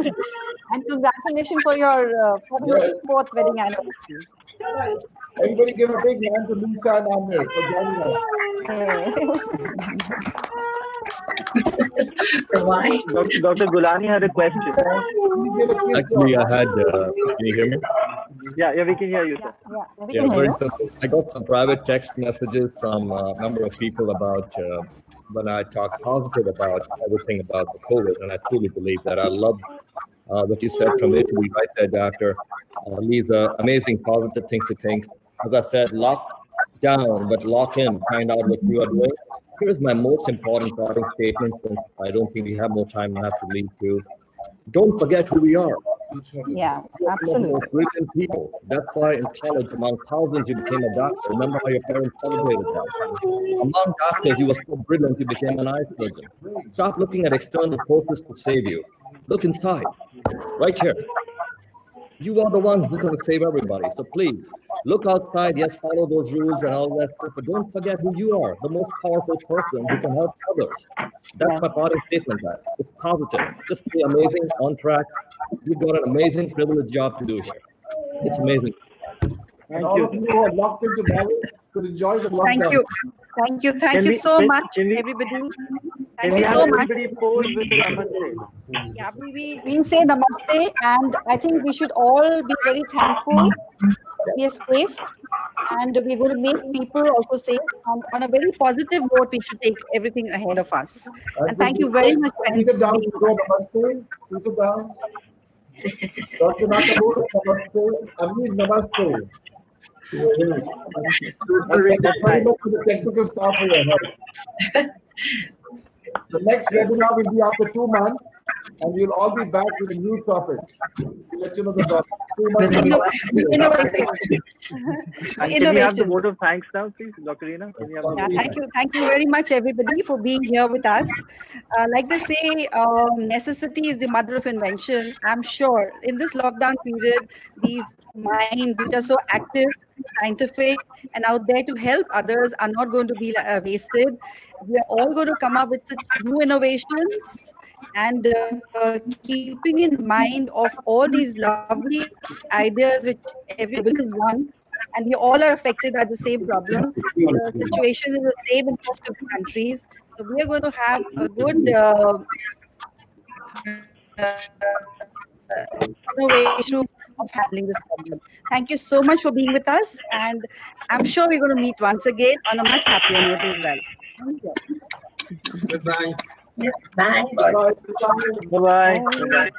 Bye, everybody. Thank you so much. See yourself on YouTube tomorrow. Lovely seeing you all. Thank you so much for your Thank you. contribution. All right, let's see here. Thank you, Dr. Bye bye. Bye bye. Bye bye. Bye bye. See you. Bye. Bye. Bye. Very good conference. Very And good. thank It was enjoyable. And I Yeah. might say that I was very impressed when I spoke to Arun earlier that with Delhi having 20 million people, unfortunately, they did have deaths, but only 95. Well, in my community of about 200,000, we've had 25. So your care is much better than ours. And we wish that Dr. Hudson's football team wins against Argentina. Yeah, Brazil is a lot better.